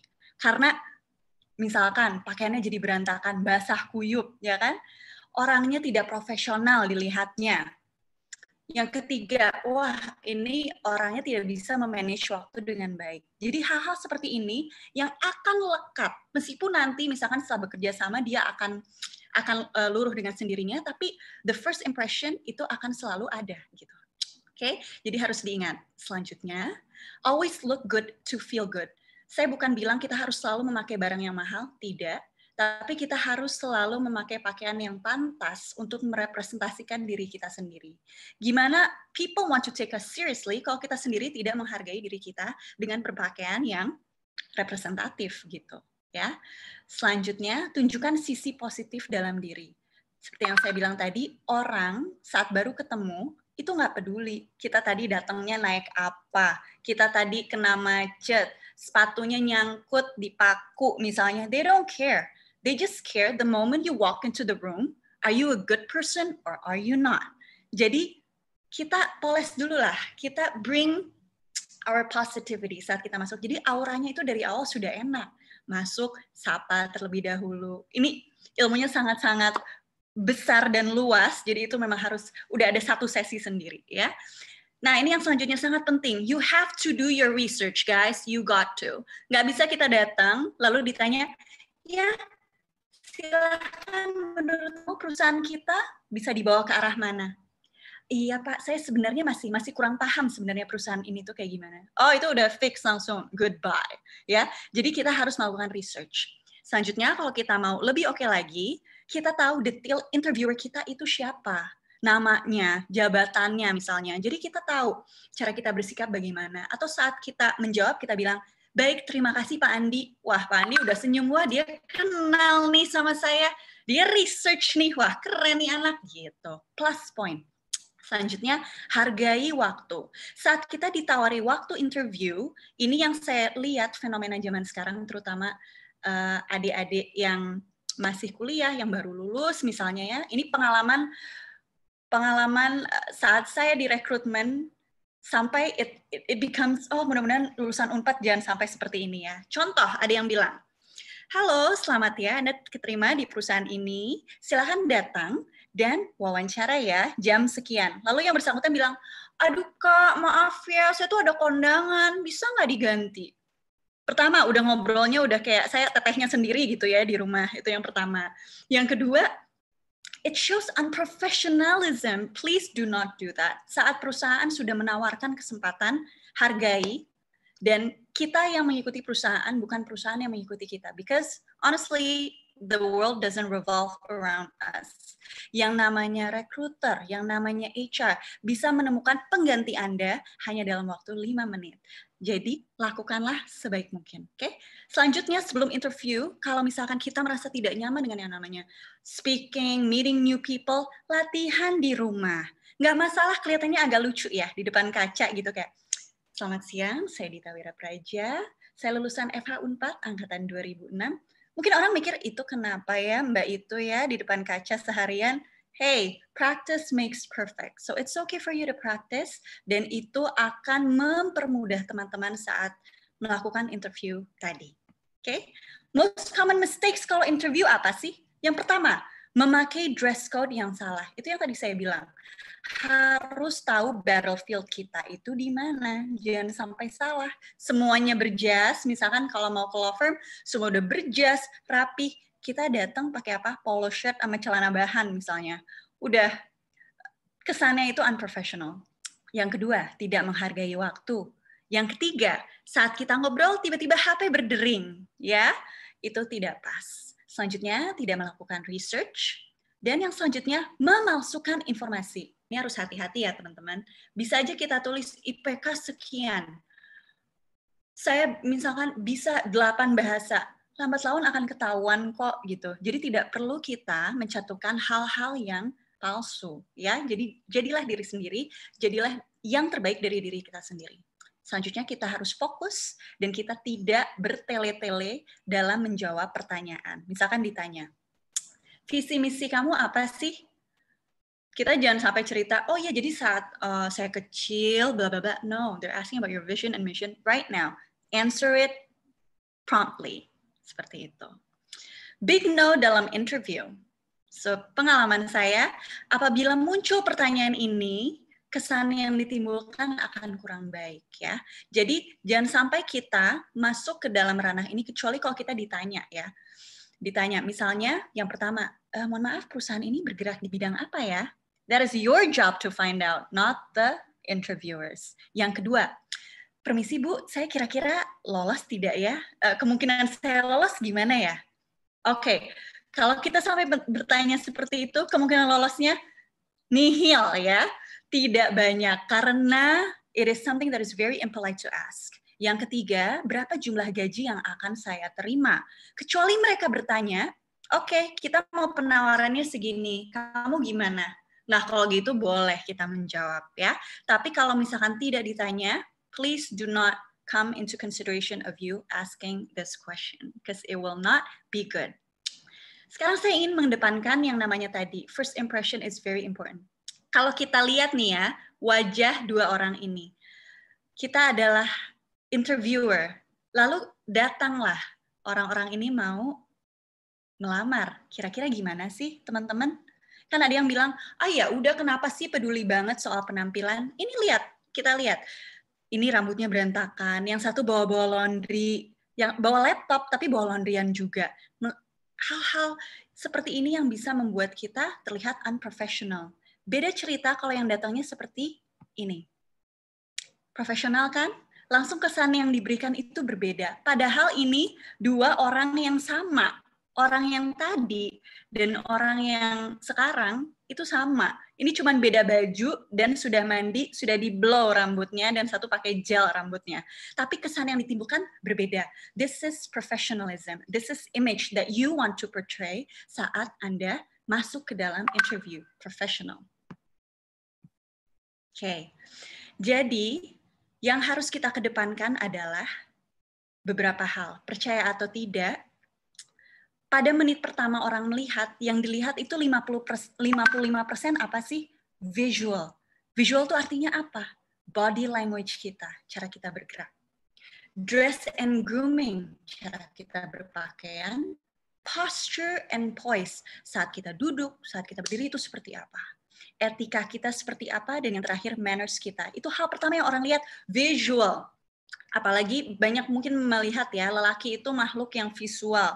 Itu tidak salah gitu karena memang hal pertama yang otak kita proses is the visual of a person. Dan yang kedua apa sih setelah itu? Ini baru muncul vokal. Sering kan pernah tidak kita ilfeel saat seseorang mulai bicara? Padahal tadinya terlihat keren nih tadinya terlihatnya keren begitu bicara ah iya aku tuh nggak tahu aku wah kok bicaranya jadi kayak gitu ya? Waduh, itu akan menunjukkan unprofessionalism. Jadi kita harus latihan juga nih yang namanya vocal, tone, pitch, volume, speed saat berbicara, aksen kita, flow kita, enunciation, itu bisa membantu kita memberikan kesan yang lebih profesional dan lebih meyakinkan. Dan yang terakhir, percaya atau tidak, yang didengar adalah words. That is the last thing a recruiter or an interviewer will listen to you. Your words itu akan dapat di cover dengan visual yang baik, vokal yang baik, dan itu akan terlihat sangat-sangat representatif. Jadi itu yang harus kita latih. Jadi teman-teman jangan lupa untuk selalu do your best and you have to feel your best and you have to look your best. Dengan melakukan tiga hal ini dipastikan nanti sukses akan mengikuti apa pun posisi yang teman-teman achieve. Kira-kira itu yang bisa saya share. Oke, okay, thank you Teh Dita. Ini um, inline juga ya sama yang tadi disampaikan sama Kang Gori. Uh, kemudian hmm. di Teh Dita ini kita jangan lupa untuk be your best self tapi juga tidak tidak mengindahkan apa ya kita be yourself tapi kita juga uh, balance gitu loh dengan soft skill kita dengan academic yeah. skill kita juga terus uh, tadi ada beberapa yang saya note juga kita nggak perlu nih nunggu untuk kita bisa mencari passion kita Hmm. Jadi apa yang ada di depan mata, apa yang kita suka itu bisa kita jalanin. Kemudian uh, ada juga positif positif uh, yang mindful yang bisa kita share. Ini ada one day, one productive day. Itu bagus banget ya. Jadi buat teman-teman yang masih bingung, uh, pokoknya harus tetap bergerak terus, cari kegiatan yang positif, yang produktif, itu pasti banyak banget. Kemudian uh, bagaimana kita bisa prepping ourselves inside and outside. Jadi ya. gimana lagi-lagi ini harus balance, look good-nya nggak hanya dari luar, tapi di dalamnya juga jangan sampai zong ya. Kira-kira begitu ya Tedita. Terima kasih Tedita. Kita akan uh, masuk ke Q&A sebentar. Oke. Okay. Um, Mohon maaf untuk teman-teman kita tidak bisa mengakomodir semua pertanyaan. Yang pertama ini ada pertanyaan dari Indriani Vera Natalia. Mungkin Indriani mau bertanya langsung, silakan. Bisa diaktifkan speakernya. Jadi penjelasannya mending kita ngobrol aja biar lebih enak. Iya, ya, silakan. Halo, ini nggak kelihatan ya Indrinya ya? Ada nggak akunya kelihatan? Mbak. Oke, okay, Indri. Ya, halo. Ya, uh, perkenalkan saya Indri, alumni FA4 2016. Mungkin mau hmm. bertanya dikit, Teh. Jadi sebenarnya uh, Teh Dita tuh uh, discover uh, diri Teh Dita akan fokus ke tentang uh, personal development tuh kapan ya kira-kira? Nah ini berkaitan dengan kayak misalkan uh, normally tuh orang tuh discover uh, ourselves tuh kapan? Karena misalkan kan discover ourselves tuh bukan cuma bidangnya doang, misalkan kayak saya mau mendalami di energy law atau litigation atau yang lain-lain, tapi juga kayak misalkan uh, saya mau kerja di mana, mau jadi lawyering atau in-house counsel kayak gitu. Nah, uh, normalnya tuh berapa lama? Dan ini berhubungan juga dengan uh, pemaparan Kang Gori tadi sebenarnya uh, kan ini kan menyebabkan adanya tendensi buat jumping sebenarnya. Karena kita mungkin masih mencari-cari. Mungkin kalau dari lulus kuliah mungkin udah tahu nih kira-kira uh, mau kerja di bidang apa bidangnya fieldnya. Tapi once ketemu sama kerjaannya kok saya nggak suka ya? Atau enggak kok saya kayaknya maunya di sini ya? Kayak gitu. Kayak pekerjaannya kayak gitu. Dan itu semuanya berbeda banget sama yang dipikirkan pas kuliah. Nah itu ya. normalnya gimana ya teh? Kayak apakah itu hal yang juga bisa dimaklumi oleh HR hmm. atau enggak kayak gitu ya gitu okay. aja sih teh Terima kasih ya Indri. Ya, terima kasih Indri. Pertanyaannya bagus. Silahkan langsung dijawab, Dita. Oke. Okay. Jadi ini Indri, kalau saya bisa highlight, yang namanya discovering ourselves itu tidak akan berhenti. Mau kita sudah kita masih kuliah, sampai kita kerja pun yang namanya visi misi kehidupan itu bisa shift. Jadi tidak akan sama saat saya kuliah sama misalkan saat saya sekarang nih anak udah empat itu visi misi saya tuh berbeda akan berbeda gitu. Untuk bapak-bapak mungkin di, bisa dijawab oleh bapak-bapak cenderung mungkin kan provide untuk keluarga hal-hal yang sebagainya. Tapi kalau kita, terutama ini kita share women to women juga, yang namanya wanita itu akan ada shifting, terutama apabila nanti kita sudah berkeluarga. Itu bisa hmm. shifting. Dan HR itu paham mengenai hal itu. Jadi ada hmm. beberapa fenomena yang sampai bilang, wah kayaknya perusahaan A itu cenderung rekrutasinya tuh lebih banyak laki-laki. Karena kalau misalkan wanita dengan ada ilmunya juga. Jadi apakah tidak apa? It's fine. Yang namanya kita discovering ourselves itu tidak akan berhenti sampai kapan pun. Dan Ini... finding your passion itu juga tidak akan bisa berhenti gitu. It takes a long time untuk seseorang bisa akhirnya tahu, wah ternyata passion saya ini nih gitu. Dan bisa saja berbeda dengan pada saat kita kuliah gitu. So there's nothing wrong with that.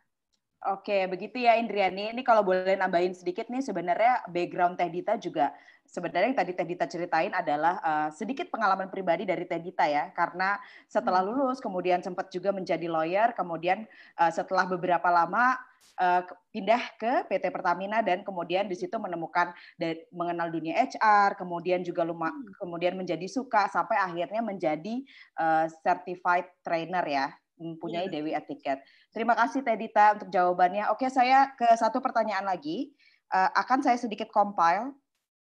Ya, bagaimanakah Teh Dita memikirkan pekerjaan yang sekarang ini masih sejak masa kuliah dulu uh, dan menyiapkan strateginya. Nah, karena ini mirip Teh Dita satu lagi begini. Hmm. Jika di uh, selama kuliah bekerja namun di posisi freelance, dan di luar legal hanya dalam waktu tiga bulan, apakah dicantumkan saja atau tidak? Ini lebih ke kanggori sepertinya ya, lebih relate-nya. Hmm. Oke. Okay. Mungkin ke pertanyaan ini dulu, Teh Dita, ke Amanda Yola, uh, angkatan 2017. Saya ingin bertanya, um, bagaimana cara memaparkan hard skill dan soft skill tanpa meninggalkan kesan angkuh dan sombong? Silahkan, Teh Dita. Yang pertama tadi atau yang Amanda dulu nih? Uh, boleh sekalian aja. Sekalian aja, oke. Okay. Menyambung. Yang pertama dulu aja. Boleh, yang, yang pertama tadi, dulu. Bagaimana sih bisa mempersiapkan, hmm, mempersiapkan dari awal sampai bisa berpikir untuk berkarir gitu. Jujur, saya sebagai uh, seorang wanita dan saya dulu di Fakultas Hukum, saya memang sangat tertarik awalnya itu menjadi lawyer. Jadi makanya saya ikut juga di moot court. Waktu itu saya ikut maritime. Ada yang ikut maritime moot court? Pasti banyak teh pasti banyak ya hello dan itu uh, ke, saya juga waktu itu ketua debate Fakultas Hukum sekarang masih ada mudah-mudahan debate ya dan saat itu saya hanya berpikir apa yang bisa men-shape saya untuk bisa menjadi lawyer yang baik gitu. Jadi saya ingin kegiatan kegiatan-kegiatan yang berkaitan dengan kegiatan kampus saya itu sesuai nih dengan passion saya. Saya ingin menjadi lawyer pada saat itu ya. Nah, jadi um, setelah lulus, saya masuk di salah satu law firm di Jakarta. Lalu saya menikah. Nah, inilah yang merubah visi misi saya akhirnya. Setelah menikah, ada juga pertimbangan, misalnya pertimbangan dari suami, aduh kayaknya saya prefer kamu pulangnya pasti deh gitu yang namanya lawyer pulangnya tentu wow luar biasa gitu ya bisa 24/7 gitu. Nah, makanya saya akhirnya berpikir aduh saya ingin contribute untuk negara gitu. Gimana caranya? Ya udah saya di BUMN. Dan alhamdulillah ada jalannya saya akhirnya diterima di Pertamina gitu. Itu yang namanya shifting. Nah, setelah uh, masuk ke Pertamina, saya tuh sempat mempertanyakan kenapa sih saya ini lulusan hukum kok masuknya ke HR ya bingung gitu hmm. kayak awalnya saya nggak ngerti HR tuh kayak gimana nah ini yang harus kita ingat teman-teman saat kita dihadapkan dengan situasi yang baru we always have to put a positive mindset mungkin ini ada rezekinya nih saya di HR gitu. Jadi saat saya masuk saya mulai paham apa sih yang membuat seseorang itu bisa naik pangkat, seseorang itu bisa sukses, seseorang itu menjadi CEO, seseorang itu bisa membawa impact lebih untuk uh, company-nya. Ya salah satunya adalah adalah dengan soft skill yang baik yang dia miliki. Dan akhirnya alhamdulillah ada kesempatannya saya menjadi trainer di bidang tersebut dan mengambil sertifikasinya. Seperti itu. Oke, terima kasih Tedita. Semoga hmm. uh, apa jawabannya ini ya memuaskan ya.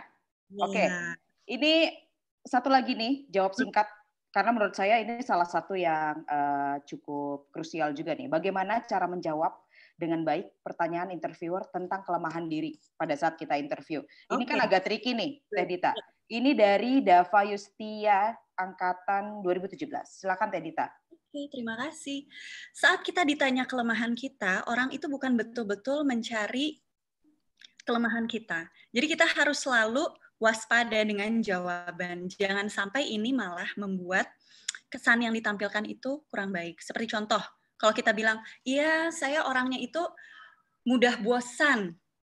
Nah, ini kalau kita mau masuk ke pekerjaan yang sifatnya itu sangat-sangat transaksional, pekerjaan yang sifatnya itu sangat repetitif, ini bisa membuat recruiter berpikir ulang untuk meng-hire kita gitu. Jadi, kalau yang saya bisa sarankan, taruhlah sesuatu yang positif di posisi yang kurang baik. Contoh, saya orangnya perfeksionis. Jadi, sering kali saat mengerjakan suatu hal, itu saya pay attention to detailnya itu terlalu banyak sehingga kesehatan saya agak terganggu. Misalnya, contoh. Jadi jadikan suatu hal yang positif itu menjadi ekstrim dan itu bisa menjadi jawaban kita. Ini jadi kayak triknya ya, ya emang yeah, salah yeah, satu emang. seperti itu gitu. Jadi always put positivity in your image. Jadi jangan sampai kita tuh terlihat menjadi seseorang yang suka mengeluh, seseorang yang uh, negatif, yang mudah bosan, mud seseorang yang moody, jangan sampai seperti itu. Jadi Begitu. kita nggak perlu merendahkan juga gitu ya posisi kita ya. Betul. Oke. Okay. Baiklah, um, tadi merupakan sesi uh, apa pertanyaan terakhir juga dari teman-teman hmm. di Teh Dita. Terima kasih banyak sekali lagi Teh Dita. Pemaparannya saya yakin sangat mencerahkan bukan hanya teman-teman hmm. mahasiswa, mahasiswi atau fresh graduate, tapi buat kita kita juga nih sama kayak Kang Gori tadi. Oke, terima kasih Teh Dita. Kita sekarang lanjut ke Kang Maher, narasumber kita yang terakhir. Silahkan, Kang Maher. Halo, uh, sore semua. Thanks Idaman. Uh, Mas saya uh, Maher. Saya angkatan 2006 Eva Unpad. Uh, saat ini saya bekerja di uh, ABN Law. Um, mungkin tadi uh, Teh Dita sama Kang Gori udah uh, ngejelasin dari sisi generalnya ya. Jadi maksudnya kayak tips and trick dan uh, recruiter nyari apa, uh, in terms of etiquette sama soft skill dikasih tahu in detail sama uh, Dita dan Gori. Nah, mungkin kalau dari saya, saya mau bantu, bukan bantu kali ya, mau share aja experience saya dari tiga angle. Satu, sebagai uh, bekas mahasiswa hukum. Kedua, sebagai uh, a struggling lawyer and still is struggling.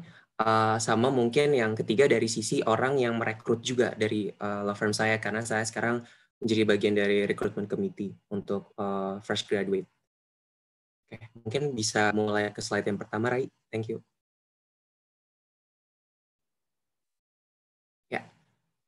ini mungkin tadi Dita udah uh, cover general uh, apa ya description lah dari apa sih yang harus di obtain sebagai law student.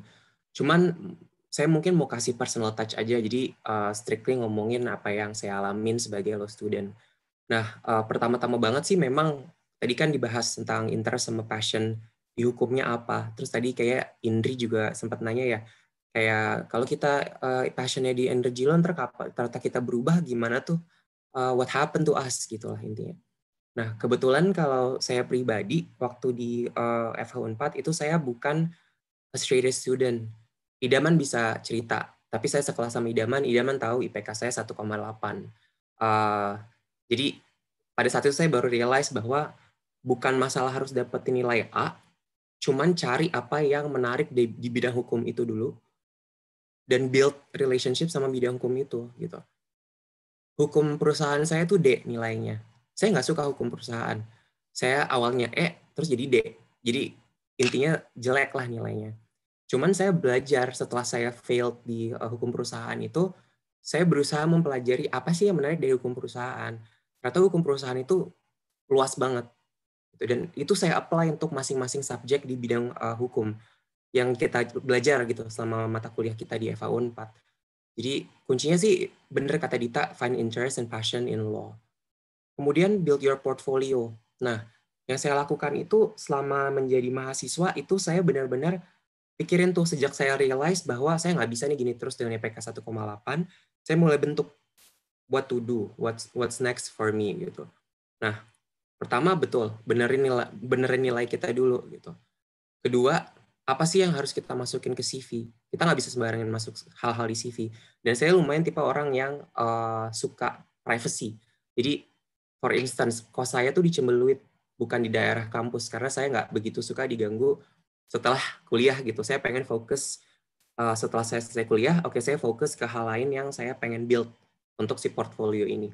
Jadi, uh, saya mengisi waktu luang saya dengan uh, ngikutin online courses waktu saya kuliah terus uh, ya baca-baca buku, belajar bahasa Inggris juga karena saya uh, bukan native speaker. Cuman in terms of uh, external relationship di uh, FAU 4, saya uh, ikut ALSA, saya ikut MCS, uh, dan sampai sekarang pun saya insya Allah kalau masih punya waktu bisa uh, membantu teman-teman dari MCS uh, kalau mau lomba gitu. Dan lately saya juga bantu uh, PLITS ya, teman-teman PLITS kalau mereka mau lomba itu saya juga consultnya dari situ saya belajar. Jadi apa yang saya apply di kuliah, saya apply sampai sekarang jadi you can never stop learning. And that's how you build your portfolio. Apa sih yang kalian kuasain? Kemudian, your professional development is your personal responsibility. Saya nggak pernah nanya advice ke orang tua saya karena mereka bukan di bidang hukum. Saya nggak punya background hukum sama sekali di keluarga saya. Jadi saya merasa ini prinsip yang saya pegang banget waktu kuliah. Ini semua tanggung jawab saya, yang gagal saya, yang sukses saya sendiri. Jadi professional development is your personal responsibility. Yang saya bisa lakukan hanyalah coba jalanin dulu. Kalau tidak successful ya sudah, lo sudah mencoba, at least ada ilmu yang lo peroleh gitu. Jadi ini yang saya lakukan waktu kuliah. Kemudian be visible, be visible, be visible. Ini penting banget. Kenapa? Karena waktu di kuliah itu kan FH 4 itu isinya seangkatan kalau angkatan saya pribadi itu ada kelas pagi sama sore ya. Jadi itu kayak ada 600-an orang gitu, 600-an mahasiswa. Nah, gimana cara kita attract uh, dosen gitu. Satu kan lo harus build relationship sama dosen itu kan. Nah, saya punya uh, relationship yang cukup baik gitu dengan dosen-dosen hukum saya, khususnya hukum internasional. Nah, dari situ saya build relationship uh, sama Bu Prita dan Bu Sinta. Di situ saya dimintain bantu untuk jadi asisten untuk researchnya mereka uh, dikti waktu zaman itu. Gitu. Nah, itu saya bukti dari bahwa kalau lo kelihatan, lo akan dinotis sama siapa pun yang appreciate talent lo dan sama get good grades. Nah, saya lulus nggak pakai uh, cum laude. Saya nggak nggak bisa cum laude karena kejauhan dari 1,8 sampai cum laude nggak kuat. Jadi saya lulus dengan 3,25. Untuk di uh, standar uh, IPK kalau yang saya tahu interview atau dipanggil sama law firm gitu itu minimum tiga.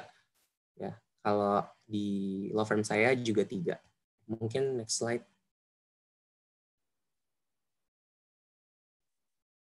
Oke, ini tadi udah di cover sama uh, Kang Gori. Cuman kalau uh, saya mau specify khusus dari perspektif saya sebagai recruiter di ABNR, uh, kemarin kebetulan kita baru ngadain uh, rekrutmen uh, sehubungan dengan kalau tahu DOLC, jadi FAUI itu ngebuat Days of Law Career.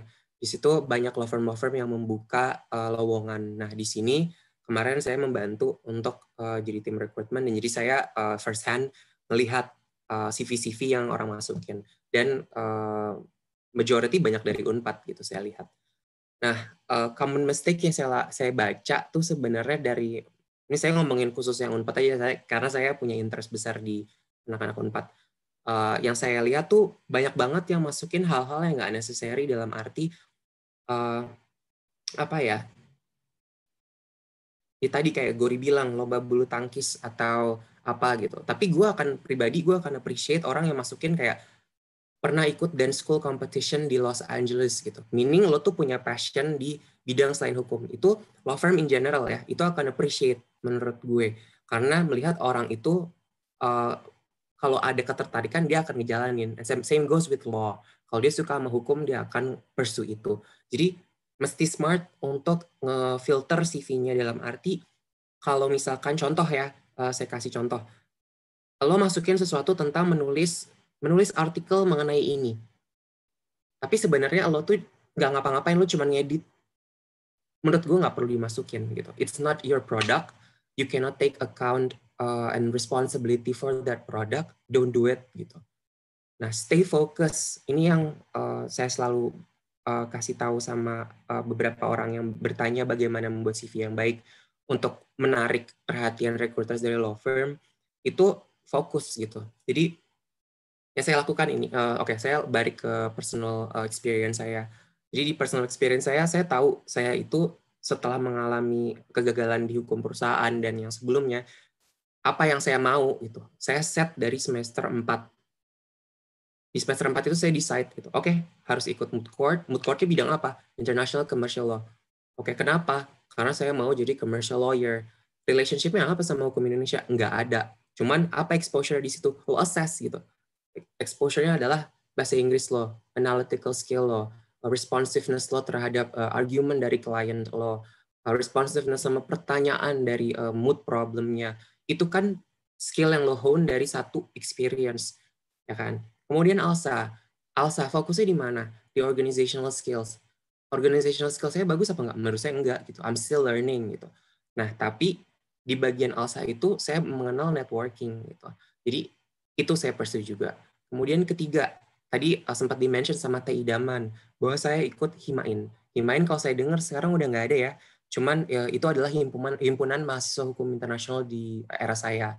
Nah, saya uh, in charge untuk international private law. Jadi fokus saya di CV itu tuh international private law. Jadi orang yang baca itu tahu oh ini orang uh, persunya mengenai private international law, dia mau terjun ke uh, Indonesian private law which is hukum perusahaan dan BW. Jadi fokus di CV itu penting banget. Jadi kasih lihat itu di CV lo. Nah terus common mistake juga nih, it is about you. Telling them how good the firms are but fail to convey a clear message as to why they should hire you. Nah uh, kemarin pengalaman saya baca CV itu, ini kemarin saya baca hampir 500 CV. Itu yang saya baca. Nah, semuanya yang mengkonvey di CV itu bilang ABNR adalah law firm tertua di Indonesia. Uh, telah berdiri dari lebih dari 50 tahun, memiliki lebih dari 100 lawyer, bla bla bla bla bla. And that's the kind of information yang semua bisa akses di websitenya ABNR.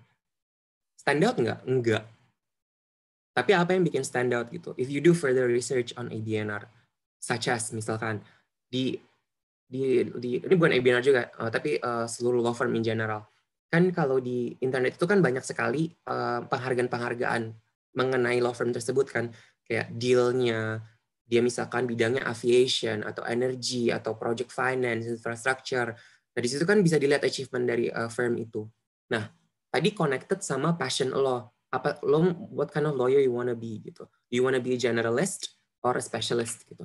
Jadi kalau misalkan mau menjadi generalist dalam arti menguasai semua bidang hukum secara umum atau menjadi specialist misalkan cuma infrastructure and project finance, banking finance and banking products gitu. Nah itu dilihat, oke okay, firm firm profile itu dia standar nggak di situ. make sense nggak untuk lo masukin ke CV-nya? Kenapa? Karena ada beberapa cerita yang gue dengar, seseorang mau jadi IP lawyer, tapi dia apply ke law firm yang enggak ada IP practice, kan that's funny. Right? So you have to measure and uh, determine very clearly what you want to do and what you want to uh, apa sih convey in the CV gitu. Jadi recruiter juga merasa oh we're a good match gitu. Itu spesifiknya aja. Kemudian mungkin next slide.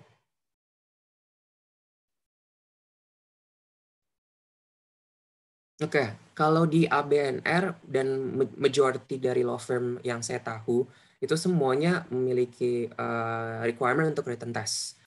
Nah, kalau di ABNR sih ini sebenarnya uh, sudah selalu ada written test. Kebetulan waktu zaman saya juga ada written test. Nah, di dalam elemen written test ini, orang banyak yang nanya, berapa berapa persen sih elemennya written test itu di dalam uh, penilaian? Nah, kalau di ABNR sendiri, itu bukan elemen penilaian percentage, tapi itu merupakan step. Jadi step pertama yang kita lakukan adalah interview personality, kemudian written test, kalau lulus baru interview dengan uh, partner dan uh, senior associate. Jadi itu steps. Nah, di written test ini tuh sebenarnya common mistake yang sering saya baca itu tuh you you put everything that you know, not necessarily what you're being asked of. Jadi di situ trik dan uh, tips dan trik saya itu selain punya yang saya tulis necessity basic of legal knowledge, logic gitu. Logiknya itu harus menjadi foundation dari menjawab dan relate ke basic legal knowledge. Misalkan Anda ditanya mengenai perusahaan A mau melakukan merger and acquisition gitu. Di situ lo mesti pakai logic lo dulu kan untuk mengakses legal knowledge yang mana yang mau lo apply gitu. Once you assess that, you know how to answer the question. Dan ini written testnya dalam bahasa Inggris, jadi everything has to be written in English. Nah, terus common mistake lagi nih, poin dua. Banyak yang ru nggak runut. Nggak runut tuh maksudnya nggak berurutan, dalam arti Anda mau ngomongin uh, sesuatu, tapi loncat dulu ke poin ketiga instead of poin pertama. Itu buat reader negative point, jadi dan gede negative poinnya gitu. Jadi membuat orang berpikir kalau dia menulisnya nggak terstruktur, mikirnya juga nggak akan terstruktur. Buat kita sebagai recruiter dan calon teammates-nya, bakal susah nih ngomong sama nih orang gitu. Jadi recruiter tuh benar-benar ngeliat sedetail itu dalam arti kalau lo nggak bisa nge-convey both physically and uh, in writing, eh fisik, verbally sorry, verbally atau in writing itu udah dan deal kayak oke okay, I don't think uh, we can work with you lah di kepalanya mereka. Jadi it's very important di written test juga memperlihatkan bahwa ada struktur dari jawaban dan uh, sufficient legal ground untuk menjawab itu. Nah, ini dia nih kesalahannya juga. Poin ketiga, legalese is okay. But plain English is preferred. Jadi, kebiasaannya kita karena kuliah, kita kan ngejawab ujian tertulis uh, UAS gitu, UAS atau UTS gitu kan, benar-benar kayak berdasarkan oh, hukum ini uh, yang kita harus lakukan lakukan adalah begini berat berat berat pasal pasal pasal.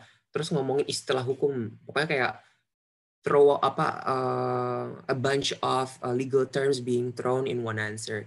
Itu okay, cuman to some extent sebenarnya trend lawyer sekarang tuh plain English gitu jadi the the plainer you get the easier the person will understand. Even international lawyers pun sekarang kalau kita deal sama mereka, itu mereka benar-benar kayak plain English, do don't do not uh, please do not gini gini gini. Bukan kayak uh, it is not necessary to bla bla bla. Jadi kayak plain aja gitu. Jadi have good English, plain, clear, correct grammar. Udah that's it. Itu menurut gue written test harus ditulis seperti itu. Lo bakal dapat nilai yang perfect kalau lo udah fulfill all that criteria buat gue.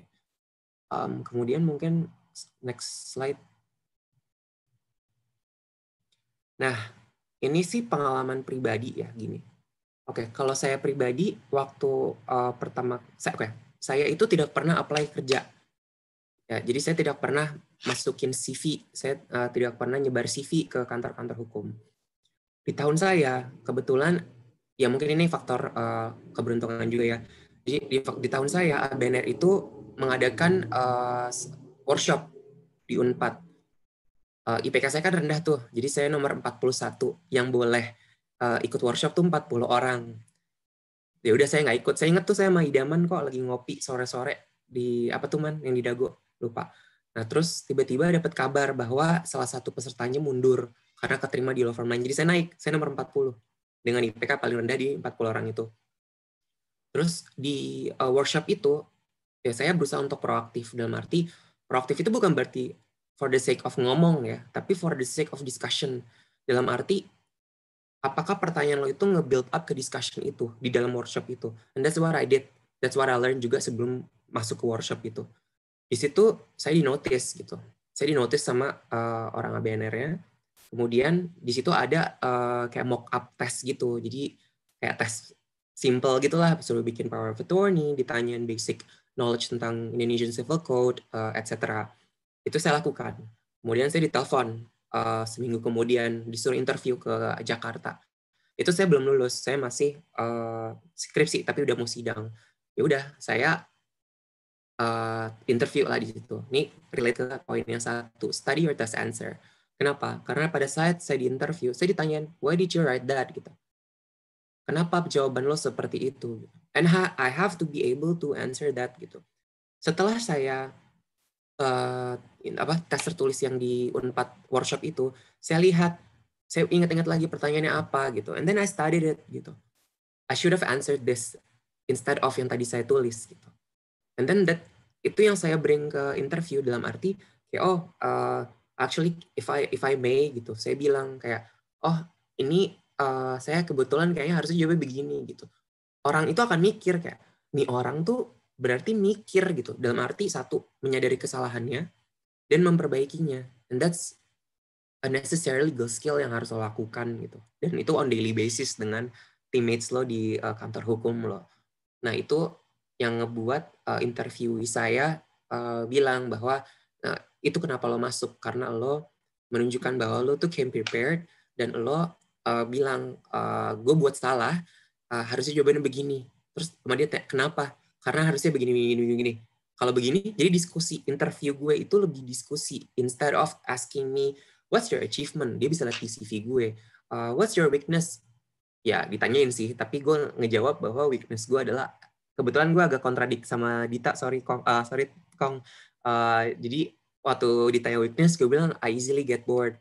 Gitu. Tapi again gue apply yang uh, Dita tadi bilang put your negativity into positivity. Jadi saya bilang bahwa uh, saya itu uh, easily get bored and that's why I need to be a lawyer because I won't get bored gitu. I will get stressed.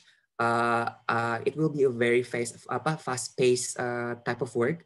Uh, I will get anxious uh, semuanya gitu and that's the perks of not being bored gitu bahwa lo keep being challenged all the time jadi makanya saya tahu itu saya pengen jadi lawyer karena itu kemudian poin kedua nih you set the tone of the interview tadi di Kong sudah uh, clearly state dan itu menurut saya udah cover all area sih benar-benar setuju banget sama Dita tadi. Nah tapi kalau uh, saya uh, tips dari saya itu you take control of the interview gitu. Kenapa? Karena that interview is set up for you, right? For you in for you in particular, you got uh, asked to come to the office or virtual interview lah gitu say karena for a reason they are interested in you So you need to set the tone of the interview and, and how you should be perceived by them. Dalam arti, saya waktu di interview itu makanya saya lakukan gitu. Saya langsung if I may gitu. Eh gue buat salah nih, begini begini begini, gue begini begini. Itu yang gue itu gue ngeset gitu. Instead of being set by the interviewee gitu. Itu yang gue lakukan. Kemudian uh, poin terakhir, make an impressive closing statement. Itu mungkin nggak banyak di uh, orang rekomend sih. Cuman that's what I did gitu waktu saya uh, interview saya bilang gitu dan saya mendengar juga uh, interview yang pernah di interview sama saya dia ngebuat closing statement gitu dalam arti dia itu memulai interviewnya men-set interviewnya dan menutup interviewnya. Jadi semua dia yang ngeset. Which shows a lot uh, a great skill of leadership dan uh, apa ya jelas dia maunya apa. Jadi yang harus lo close itu adalah menunjukkan bahwa oke okay, yang saya ingin lakukan adalah satu dua tiga. And that's why you should hire me. Thank you. Udah. Itu that's what I did juga. And that works actually I think that's all for me uh, I mean uh, I'm more open for discussion rather than me apa sih ngomong satu arah jadi feel free to ask uh, any uh, anything tapi kayaknya nggak ada pertanyaan Hehe. Thank you Kang Maher. Ada tahu pertanyaannya. Ini ini gua doang yang ngerasa terenergize atau semuanya kayaknya ngerasa gitu nggak sih? Gue tuh ngerasa kayak semangat banget loh mendengarkan presentasi-presentasi ini. Oke, gue sedikit uh, note. Kalau hmm. dari Kang Maher ini kita ada kita jadi ngeliat nih ada tiga perspektif yang udah dijelasin dari Kang Maher sendiri uh, experience-nya di uh, jadi mahasiswa Fakultas Hukum, kemudian menjadi struggling lawyer di salah satu uh, law firm ternama, kemudian yang ketiga adalah perspektif dari si recruiter di uh, di law firm-nya itu sendiri. Oke, okay, hmm. sebelum ke pertanyaan uh, ini dong Her, sebenarnya hmm. jadi intinya apa hmm. yang experience yang kita apply di, uh, waktu kita kuliah itu sebenarnya inline ya dan mempengaruhi di dunia pekerjaan. Dan se sebanyak apa ya itu mempengaruhi dunia pekerjaan dari experience kita di kuliah. Karena kan beberapa ada juga yang bilang ketika lo masuk di dunia pekerjaan uh, you will start from zero gitu. Atau uh, kalau di law firm itu sebenarnya gimana? Uh, uh, kebetulan kalau saya bisa bilang saya yang uh, letter ya. Jadi saya uh, start from zero. Karena background saya saya lebih mendalami hukum internasional uh, dan hmm. saya saya nggak kerja di law firm corporate. Jadi saya start from zero. Tapi tadi yang Dita udah mention man uh, bahwa mm. itu tuh important banget. Jadi yang saya gain dari experience saya di uh, fakultas hukum itu adalah disiplin. Disiplin sama kemauan yang sangat tinggi mm-hmm. ngebawa saya di sini sekarang gitu. Maksudnya oke okay, um, boleh agak elaborate dikit ya man. Jadi. Uh, kan saya waktu masuk itu saya anak unpad sendiri dan belum banyak anak unpad juga kebetulan dia di ABNR, ABNR. itu ya banner tuh lumayan kalau bisa bilang dulu UI oriented lah gitu kayak sangat UI gitu. Jadi di situ saya unpad sendiri. Nah tapi apa yang saya apply gitu yaitu disiplin sama kemauan untuk menjadi yang paling baik di antara semuanya. Jadi harus ada sisi competitiveness sih dari zaman kuliah yang di apply dari sampai sekolah gitu ah, sorry hmm. ya maksudnya oke okay. Ya itu itu penting banget ya untuk hmm. apalagi teman-teman mahasiswa atau fresh graduate yang masih uh, kadang kan maju mundur nih, gue mau masuk law firm atau enggak ya, takut ini hmm. gimana segala macam. Nah itu salah satunya jiwa kompetitifnya tetap harus ada, tapi itu in positive yeah. way juga. Oke. Okay, ya, karena uh, karena gini man, sorry hmm. mau elaborate karena kalau sekalinya lo di uh, merem, maksudnya hmm. dalam stop being competitive di law firm itu akan ada angkatan lima tahun kemudian yeah. yang nyalip lo Yeah. Itu sistemnya seperti itu. Jadi and that's what I do gitu. Maksudnya waktu kemarin saya kuliah kan hampir dua tahun, itu saya kehilangan waktu gitu, kehilangan momen di mana junior-junior saya itu udah naik gitu. Jadi okay. saya balik sekolah itu saya kejar lagi gitu untuk bisa ke karir yang sekarang.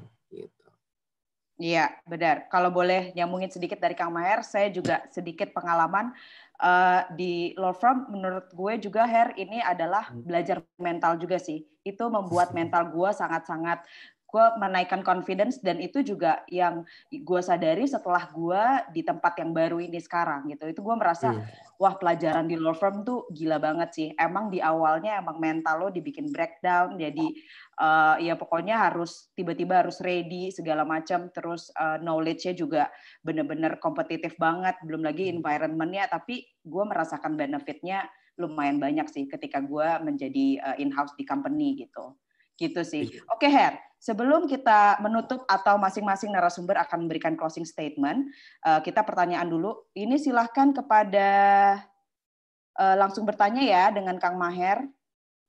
Panjang nih pertanyaannya tadi. Sorry, sorry, sorry, sorry. Ini ya, Agung Kurniawan ya? Um, um, um, iya. Okay. Boleh silahkan ditanyain langsung.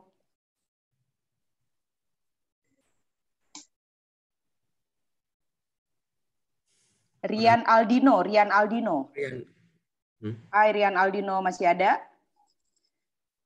Hmm, Rian angkatan Aldino. angkatan 2017. Oke, okay, hmm. kalau kalau nggak merespon, kita ke ini deh. Pertanyaan yang uh, Nabila, Nabila Mewindita. Uh, halo, Selamat sore uh, Kang Maher dan juga uh, Kak Idaman dan uh, Kang Teteh sekalian. Uh, saya Nabila, uh, kebetulan kamera saya rusak, jadi maaf sekali Gak bisa menyalain kameranya. Uh, ya, saya ingin bertanya, uh, beberapa waktu ini saya lumayan aktif untuk uh, ngecek LinkedIn dan uh, sekarang tuh concern apa rekrutmen di di law firm itu tuh lebih ke commercial awareness. Commercial awareness itu sebenarnya kalau bisa sedikit uh, ngasih info uh, adalah kemampuan kita atau ability kita untuk mengetahui uh, sejauh mana bidang itu bergerak, bagaimana di, cara dia mengelola uang, bagaimana cara dia menjual produk dan lain-lain. Nah, itu law firm itu lagi concern banget masalah hal itu. Saya ingin bertanya bagaimana mendemonstrate uh, commercial awareness itu di dalam CV uh, Kang Maher. Terima kasih. Hmm. Di CV ya, spesifik CV kan berarti? Bukan interview kan? Ya CV ya berarti. Oke. Okay mungkin itu Gori juga bisa bantu kali ya Gor uh, jawab khusus untuk CV cuman kalau dari law firm recruiters bukan bukan recruiters first hand kayak Gori gitu kalau di CV sih cukup dilihat aja bahwa uh, banyak kan pekerjaan sekarang misalnya di during COVID ini kan sebenarnya Jakarta Post itu tuh currently apa kayak consistently seeking untuk uh, legal writers gitu uh, law students uh, atau orang-orang yang bergerak di bidang hukum untuk nulis artikel gitu. If I were you gitu, I would do that gitu. Dalam arti uh, cobalah bahas gitu mengenai apa yang pengen lo persu di industri lo. Kalau lo mau ngomong law firm, berarti kan uh, bidangnya itu ngomongin spesifik tentang uh, corporate law, misalkan corporate corporate law firm gitu. Isunya apa sih yang paling hit sekarang di COVID gitu? Misalkan kayak stimulusnya OJK tuh untuk yang pengusaha UKMK atau yang kecil dan menengah dan mikro lah jadi bank-bank yang punya loan sama mereka itu dikasih facility lah untuk oke okay, lo boleh deh kita tunda uh, jangka waktu pembayarannya. Itu kan menarik. Nah, itu bisa tuh dimasukin menjadi sesuatu di CV dalam arti oke okay, gue pernah nulis Jakarta Post atau Detikcom lah atau whatever you can do that loh. Uh, the opportunity are open for you. Nah itu tulis di CV gue pernah nulis mengenai ini mengenai ini which is relevant kan ke experience lo. Nah pas di interview lo lo tanggung jawab sama apa yang lo tulis di CV bahwa lo sudah pernah menulis artikel tersebut. Di artikel tersebut lo ceritain di interview lo menguasai itu. Jadi lo complete both side CV dan interview. Lain dari gue itu mungkin gue ada tambahan kali ya. Ya uh, sebenarnya kalau misalnya dari gue yang dibilang sama Maher uh, Kang Maher itu bener banget. Jadi uh, commercial awareness itu apalagi buat seorang uh, fresh graduate atau yang uh, satu tahun dua tahun kerja itu dengan kamu membuat publication uh, ingat yang tadi aku cerita soal membuat artikel membuat artikel di LinkedIn itu juga menjadi salah satu modal kamu.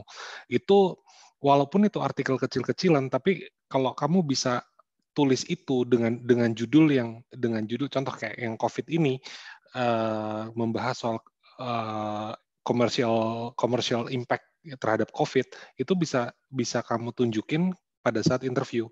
Tapi dengan judul yang menarik, dengan publikasi kamu yang ada, sebel, uh, itu sebenarnya juga udah cukup, udah cukup membuat kita ngelihat, oh ini orang udah pernah nulis nih. Paling enggak ketika dia nulis dia mikir, ketika dia mikir paling enggak dia sudah menggunakan kemampuannya dia udah menuangkan apa yang dia apa yang dia ketahui dan apa yang dia pelajari agar dilihat sama orang lain dan tidak semua orang punya kelebihan itu gitu sih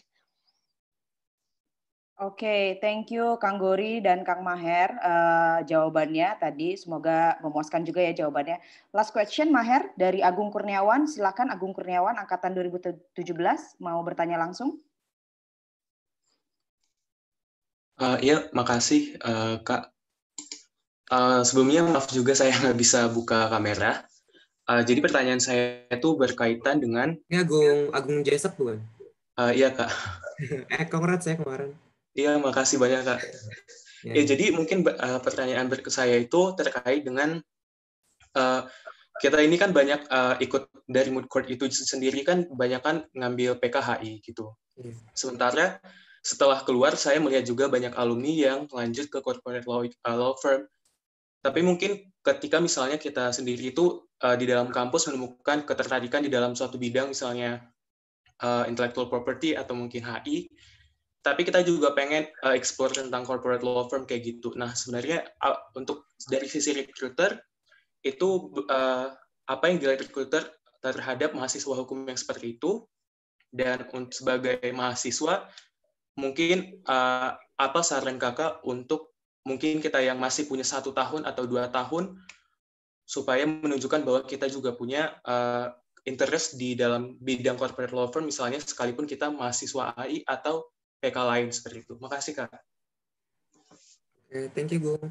Uh, berarti gue jawab dari personal experience kali ya Gung. Jadi kalau gue juga sama sih sebenarnya kan HI uh, mood court gue juga kan internasional ya nggak ada yang tentang hukum Indonesia ya. Uh, jadi apa yang rekruter lihat tuh bukan berarti gini ya, maksudnya bukan berarti major lo itu hukum internasional terus uh, lo tertarik uh, lo melakukan kegiatan hukum internasional berarti lo masuk ke corporate law firm terus jadinya nggak menarik enggak gitu. Bahkan banyak yang uh, kalau nggak salah ada beberapa CV yang pernah gue baca itu hukum tata usaha negara eh hukum hukum tata usaha negara ya. Benar ada nggak sih? Dengan HTN HTN sorry. Nah itu masuk gitu dalam arti it, it, it's about the focus that you put in, in the CV gitu. Lo punya lo punya spesifik uh, apa namanya PK gitu di CV cuman apa yang lo lakukan untuk itu? Lo encompassing all the skills apa enggak gitu. Yang kita lihat adalah nih orang tuh punya skillnya nggak sih? Nih orang akan berkembang nggak sih? Atau dia cuman emang fokus ke hukum tata usaha negara that's it gitu. Nah bergerak dari situ itu yang gue lakukan gung. Jadi HI tapi gue kembanginnya ke private gitu. Jadi intinya gue dari tengah tengah setengah kaki di corporate gitu kan. Nah itu yang gue package gitu. Kemudian gue sempat bantuin Bu Sinta jadi uh, asisten research buat risetnya diktinya dia. Itu gue nyambungin ke uh, tentang uh, apa ya waktu itu? Treaty sih tentang treaty. Cuman koneksinya itu ke Indonesian market secara industri. Jadi industri tobacco.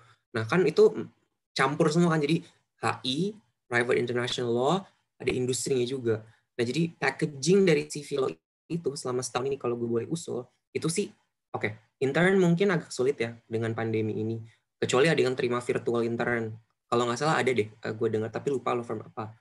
Uh, kalau yang gue akan lakukan itu tadi, benar-benar uh, build uh, apa namanya artikel-artikel, terus uh, buatlah dua tiga. Nah itu di situ lo buat tuh packagingnya jadi HI, JESUP, uh, public mood court yang udah pernah ikutin lah masukin jadi lo kelihatan kemampuan skill uh, argumen uh, etc-nya itu ada di situ sama writingnya writingnya soalnya lo belum kelihatan kan itu CV lo missing di situ nah itu yang gue lakukan sih waktu dulu uh, apa ikutan workshopnya BNR menjawab nggak Gung? Gimana Gung? Semoga menjawab ya. Jahat teman. Sangat jelas loh Her pemaparannya. Oke, udah dijawab Agung Kurniawan. Oke, teman-teman semua dan para narasumber, um, ini kita sudah mau mendekati maghrib atau sudah mau maghrib ya. Eh, pertanyaan-pertanyaan yang belum bisa terjawab, mohon maaf sekali, tapi kalian bisa langsung kirim ke sekretariat at ikfhu4.com atau nanti bisa langsung kita arahin ke masing-masing narasumbernya. Kalian mau bertanya atau private ke siapa? Nanti kita bisa arahin. Oke, sebelum kita menutup acara yang kita sebenarnya masih pengen ya seru banget soalnya obrolannya dan ilmunya banyak banget, tapi uh, waktu kita terbatas Uh, jadi kita mau menutup, tapi sebelum itu uh, sedikit closing statement dong dari para narasumber kita hari ini. Mungkin yang pertama dari Kang Gori, kemudian Teh Dita, dan Kang Maher. Silakan. Uh, buat teman-teman mahasiswa, pertama-tama jangan jangan kamu berpikir kalau misalnya kamu masuk ke perusahaan itu salah atau kamu masuk ke law firm itu pasti kamu akan menjadi lawyer terus. Jangan pernah berpikir seperti itu. Tapi ketika kamu sudah masuk, terima konsekuensinya. Yang aku bilang di sini konsekuensinya adalah bagaimana kamu menjalankan itu dengan tanggung jawab. Uh, perkara pilihan betul, pilihan kita bisa yang namanya masih bimbang, ya silahkan. Tapi tadi Teh Dita udah membantu banget. Jangan sampai uh, kalian itu terlambat dalam memilih apa sih yang mau kalian mau. Terus nanti ketika kalian sudah masuk dunia kerja, feel free to reach out to me untuk aku berikan advice-advice uh, enaknya gimana nih nanti kalau misalnya ke depannya gitu sih. Thank you, Taidaman. Thank you Kang Gori. Pokoknya selalu uh, support uh, teman-teman mahasiswa mahasiswi uh, Fakultas Hukum Universitas Pajajaran juga ya Kang. Kalau ada pasti, yang mau sharing, pasti, silakan pasti. dikasih ilmunya atau tips-tipsnya juga. Mungkin secara private bisa lebih enak. Silakan Teh Dita selanjutnya. Thank you Kang Gori. Terima kasih Teh Idaman kepada adik-adikku, rekan-rekan semua. Selalu apply positive attitude on everything you do.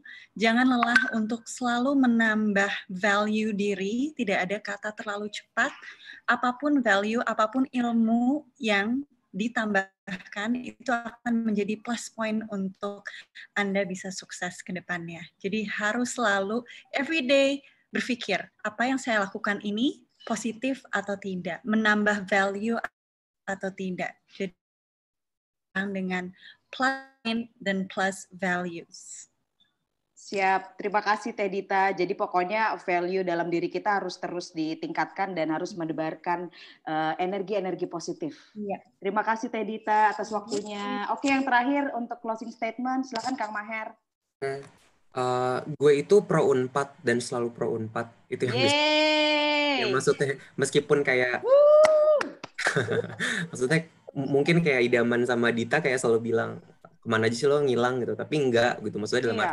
meskipun meskipun ngilang gitu karena saya nggak sempat gitu. Tapi saya selalu mendukung unpad dari um, tempat saya berada gitu. Maksudnya dengan uh, selalu ngebantu anak unpad yang masuk uh, ABNR gitu. tapi mungkin kalau ngebantu anak unpad masuk itu kan saya ada voting kan. Nah it- yang saya bisa kasih saran adalah pada saat ini kan ada beberapa angkatan ya pada saat pandemi ini selesai kalian akan bersaing dengan orang-orang yang belum dapat pekerjaan sama pandemi. Nah yang bisa kalian lakukan untuk stand out in comparison dengan university yang lain please be more beneficial with uh, please be more apa ya appropriate lah in, in terms of using your time during the pandemic gitu. Jangan Hmm. jangan nggak ngapa-ngapain do something. Tadi gue udah gue kasih tips tulislah artikel mungkin ini membantu tapi you guys have to be ready by the pandemic is done and everyone is recruiting again lo akan bersaing dengan tiga kali lipatnya orang-orang yang mungkin lo kalau nggak ada pandemik gitu jadi itu sih saran gue thank you Oke, thank you Kang Maher. Tadi inline juga tuh sama yang tadi dari Teh Dita. One day, one productive. Pokoknya harus selalu melakukan hal yang positif di setiap Hmm. harinya. Eh, Her, gue tahu kita udah lama banget gak ngobrol, tapi gue yakin banget lo sudah banyak membantu teman-teman mahasiswa mahasiswa kita, apalagi yang di beberapa UKMF, eh, advice advice teman-teman itu sampai ke kuping gue kok. Jadi thank you banget Her, udah sangat membantu teman-teman mahasiswa dan semoga ini terus berkelanjutan juga untuk Teh Dita dan Kang Gori.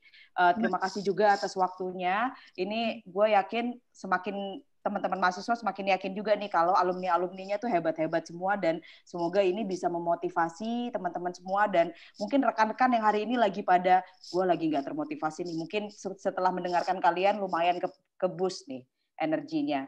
Oke, uh, mungkin sekian untuk acara alumni talk mm, berbicara tentang presenting yourself hari ini. Mungkin dari Kang Kidui ada yang mau disampaikan atau kita sudahi saja?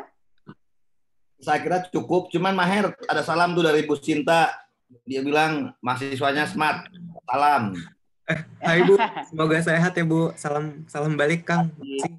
Saya lagi apa? Lagi ngobrol sama Bu Sinta. Dia bilang Yes. ya top. Benar, ini ini acara sangat membanggakan buat dan dan honestly honestly jarang sih gua haru yang kayak apa untuk acara seperti ini. Sekarang eh, gua ngelihat lu bertiga. Terus juga kemudian- Kang. Bener kan? Ya kan? Gue haru Ya kan? banget, iya karena ini kayak menurut gue ini tuh sesi bisa mahal banget gitu loh. Maksudnya itu yang nggak nggak bisa didapetin benar. di luar sana Gua- gitu. Jadi eh, bersyukurlah, beruntunglah teman-teman yang ikutan peserta webinar kali ini sih. Banyak banget ilmunya. Gua bangga banget sumpah. Gua bangga Iya. banget ke, ke, ke, lu semua, ke teman-teman semua. Thank you juga Kang udah buatin acara buat kayak gini. Kita yang thank you juga. Maksudnya uh, bagus banget acara IKA. Kita sih kalau bisa ngedukung, ngedukung terus kalau ada acara-acara gue yang gue yang sangat thank you lu semua bisa apa lu lu, lu semua bisa uh, participate di acara gue asli gue haru beneran Oh, terima kasih Kang. Kita lah yang Makasih banyak Kang. mahasiswa Thank lu you. sumpah lu eh, kalau nggak memanfaatkan apa eh, acara kayak begini sih sayang banget sayang banget Iya nih. anyway kan ada di ini ada di apa ada di ada di YouTube Cuman hmm. unlisted ya hanya untuk anak Unpad, uh, hanya untuk mahasiswa Unpad. Kalau misalnya dibutuhkan uh, nanti bisa bisa gua share lagi untuk apa untuk mahasiswa lain yang belum apa uh, yang belum bisa ngelihat. Ini ini ya. penting banget loh. Gua ngerasanya gua ngerasanya sekarang setelah setelah umur lewat dari 40 itu dulu dulu nggak dapat yang kayak begini, sumpah. Iya, bener banget. Iya. Luar biasa. Thank you, thank you Gori. Uh, Dita. Kang. Bukan, bener kan gue? Sampai terharu Kang Kido. Iya, iya, iya. Thank you ya, Kang Kido juga supportnya. Kang Kido juga sudah sangat semangat ya, sehat terus Kang. Oke, teman-teman, uh, kita harus mengakhiri uh, acara alumni talk kita uh, malam hari ini. Gak terasa waktunya juga kayaknya tadi singkat tapi ternyata nggak cukup aja gitu. Tapi kita harus mengakhiri. Oke, sekali lagi terima kasih kepada semua para peserta webinar, kemudian uh, teman-teman uh, dari masing-masing uh, UKMF, kemudian ada juga dari beberapa pengurus uh, Ikatan uh, Alumni Fakultas Hukum Universitas Pajajaran periode sekarang. Terima kasih sudah mengikuti beberapa uh, angkatan bukan milenials aja ini ada para seniors juga yang pada ikutan. Pokoknya sekali lagi terima kasih sudah bergabung di acara sore hari ini. Mohon maaf apabila ada uh, salah kata. Uh, wassalamualaikum warahmatullahi wabarakatuh. Saya Idaman Putri Erwin mengucapkan dan pamit undur diri dari acara ini. Selamat malam semuanya. Terima kasih semuanya. Kalau yang boleh mau di-unmute silahkan ya. Thank you ya Teh Dita, Kang Gori. Thank you semuanya. Thank you semuanya. Thank you. Thank you, thank you Ika, Ika Unpad. Thank you, thank you, thank you, thank you, Thank you, Kang Kidui.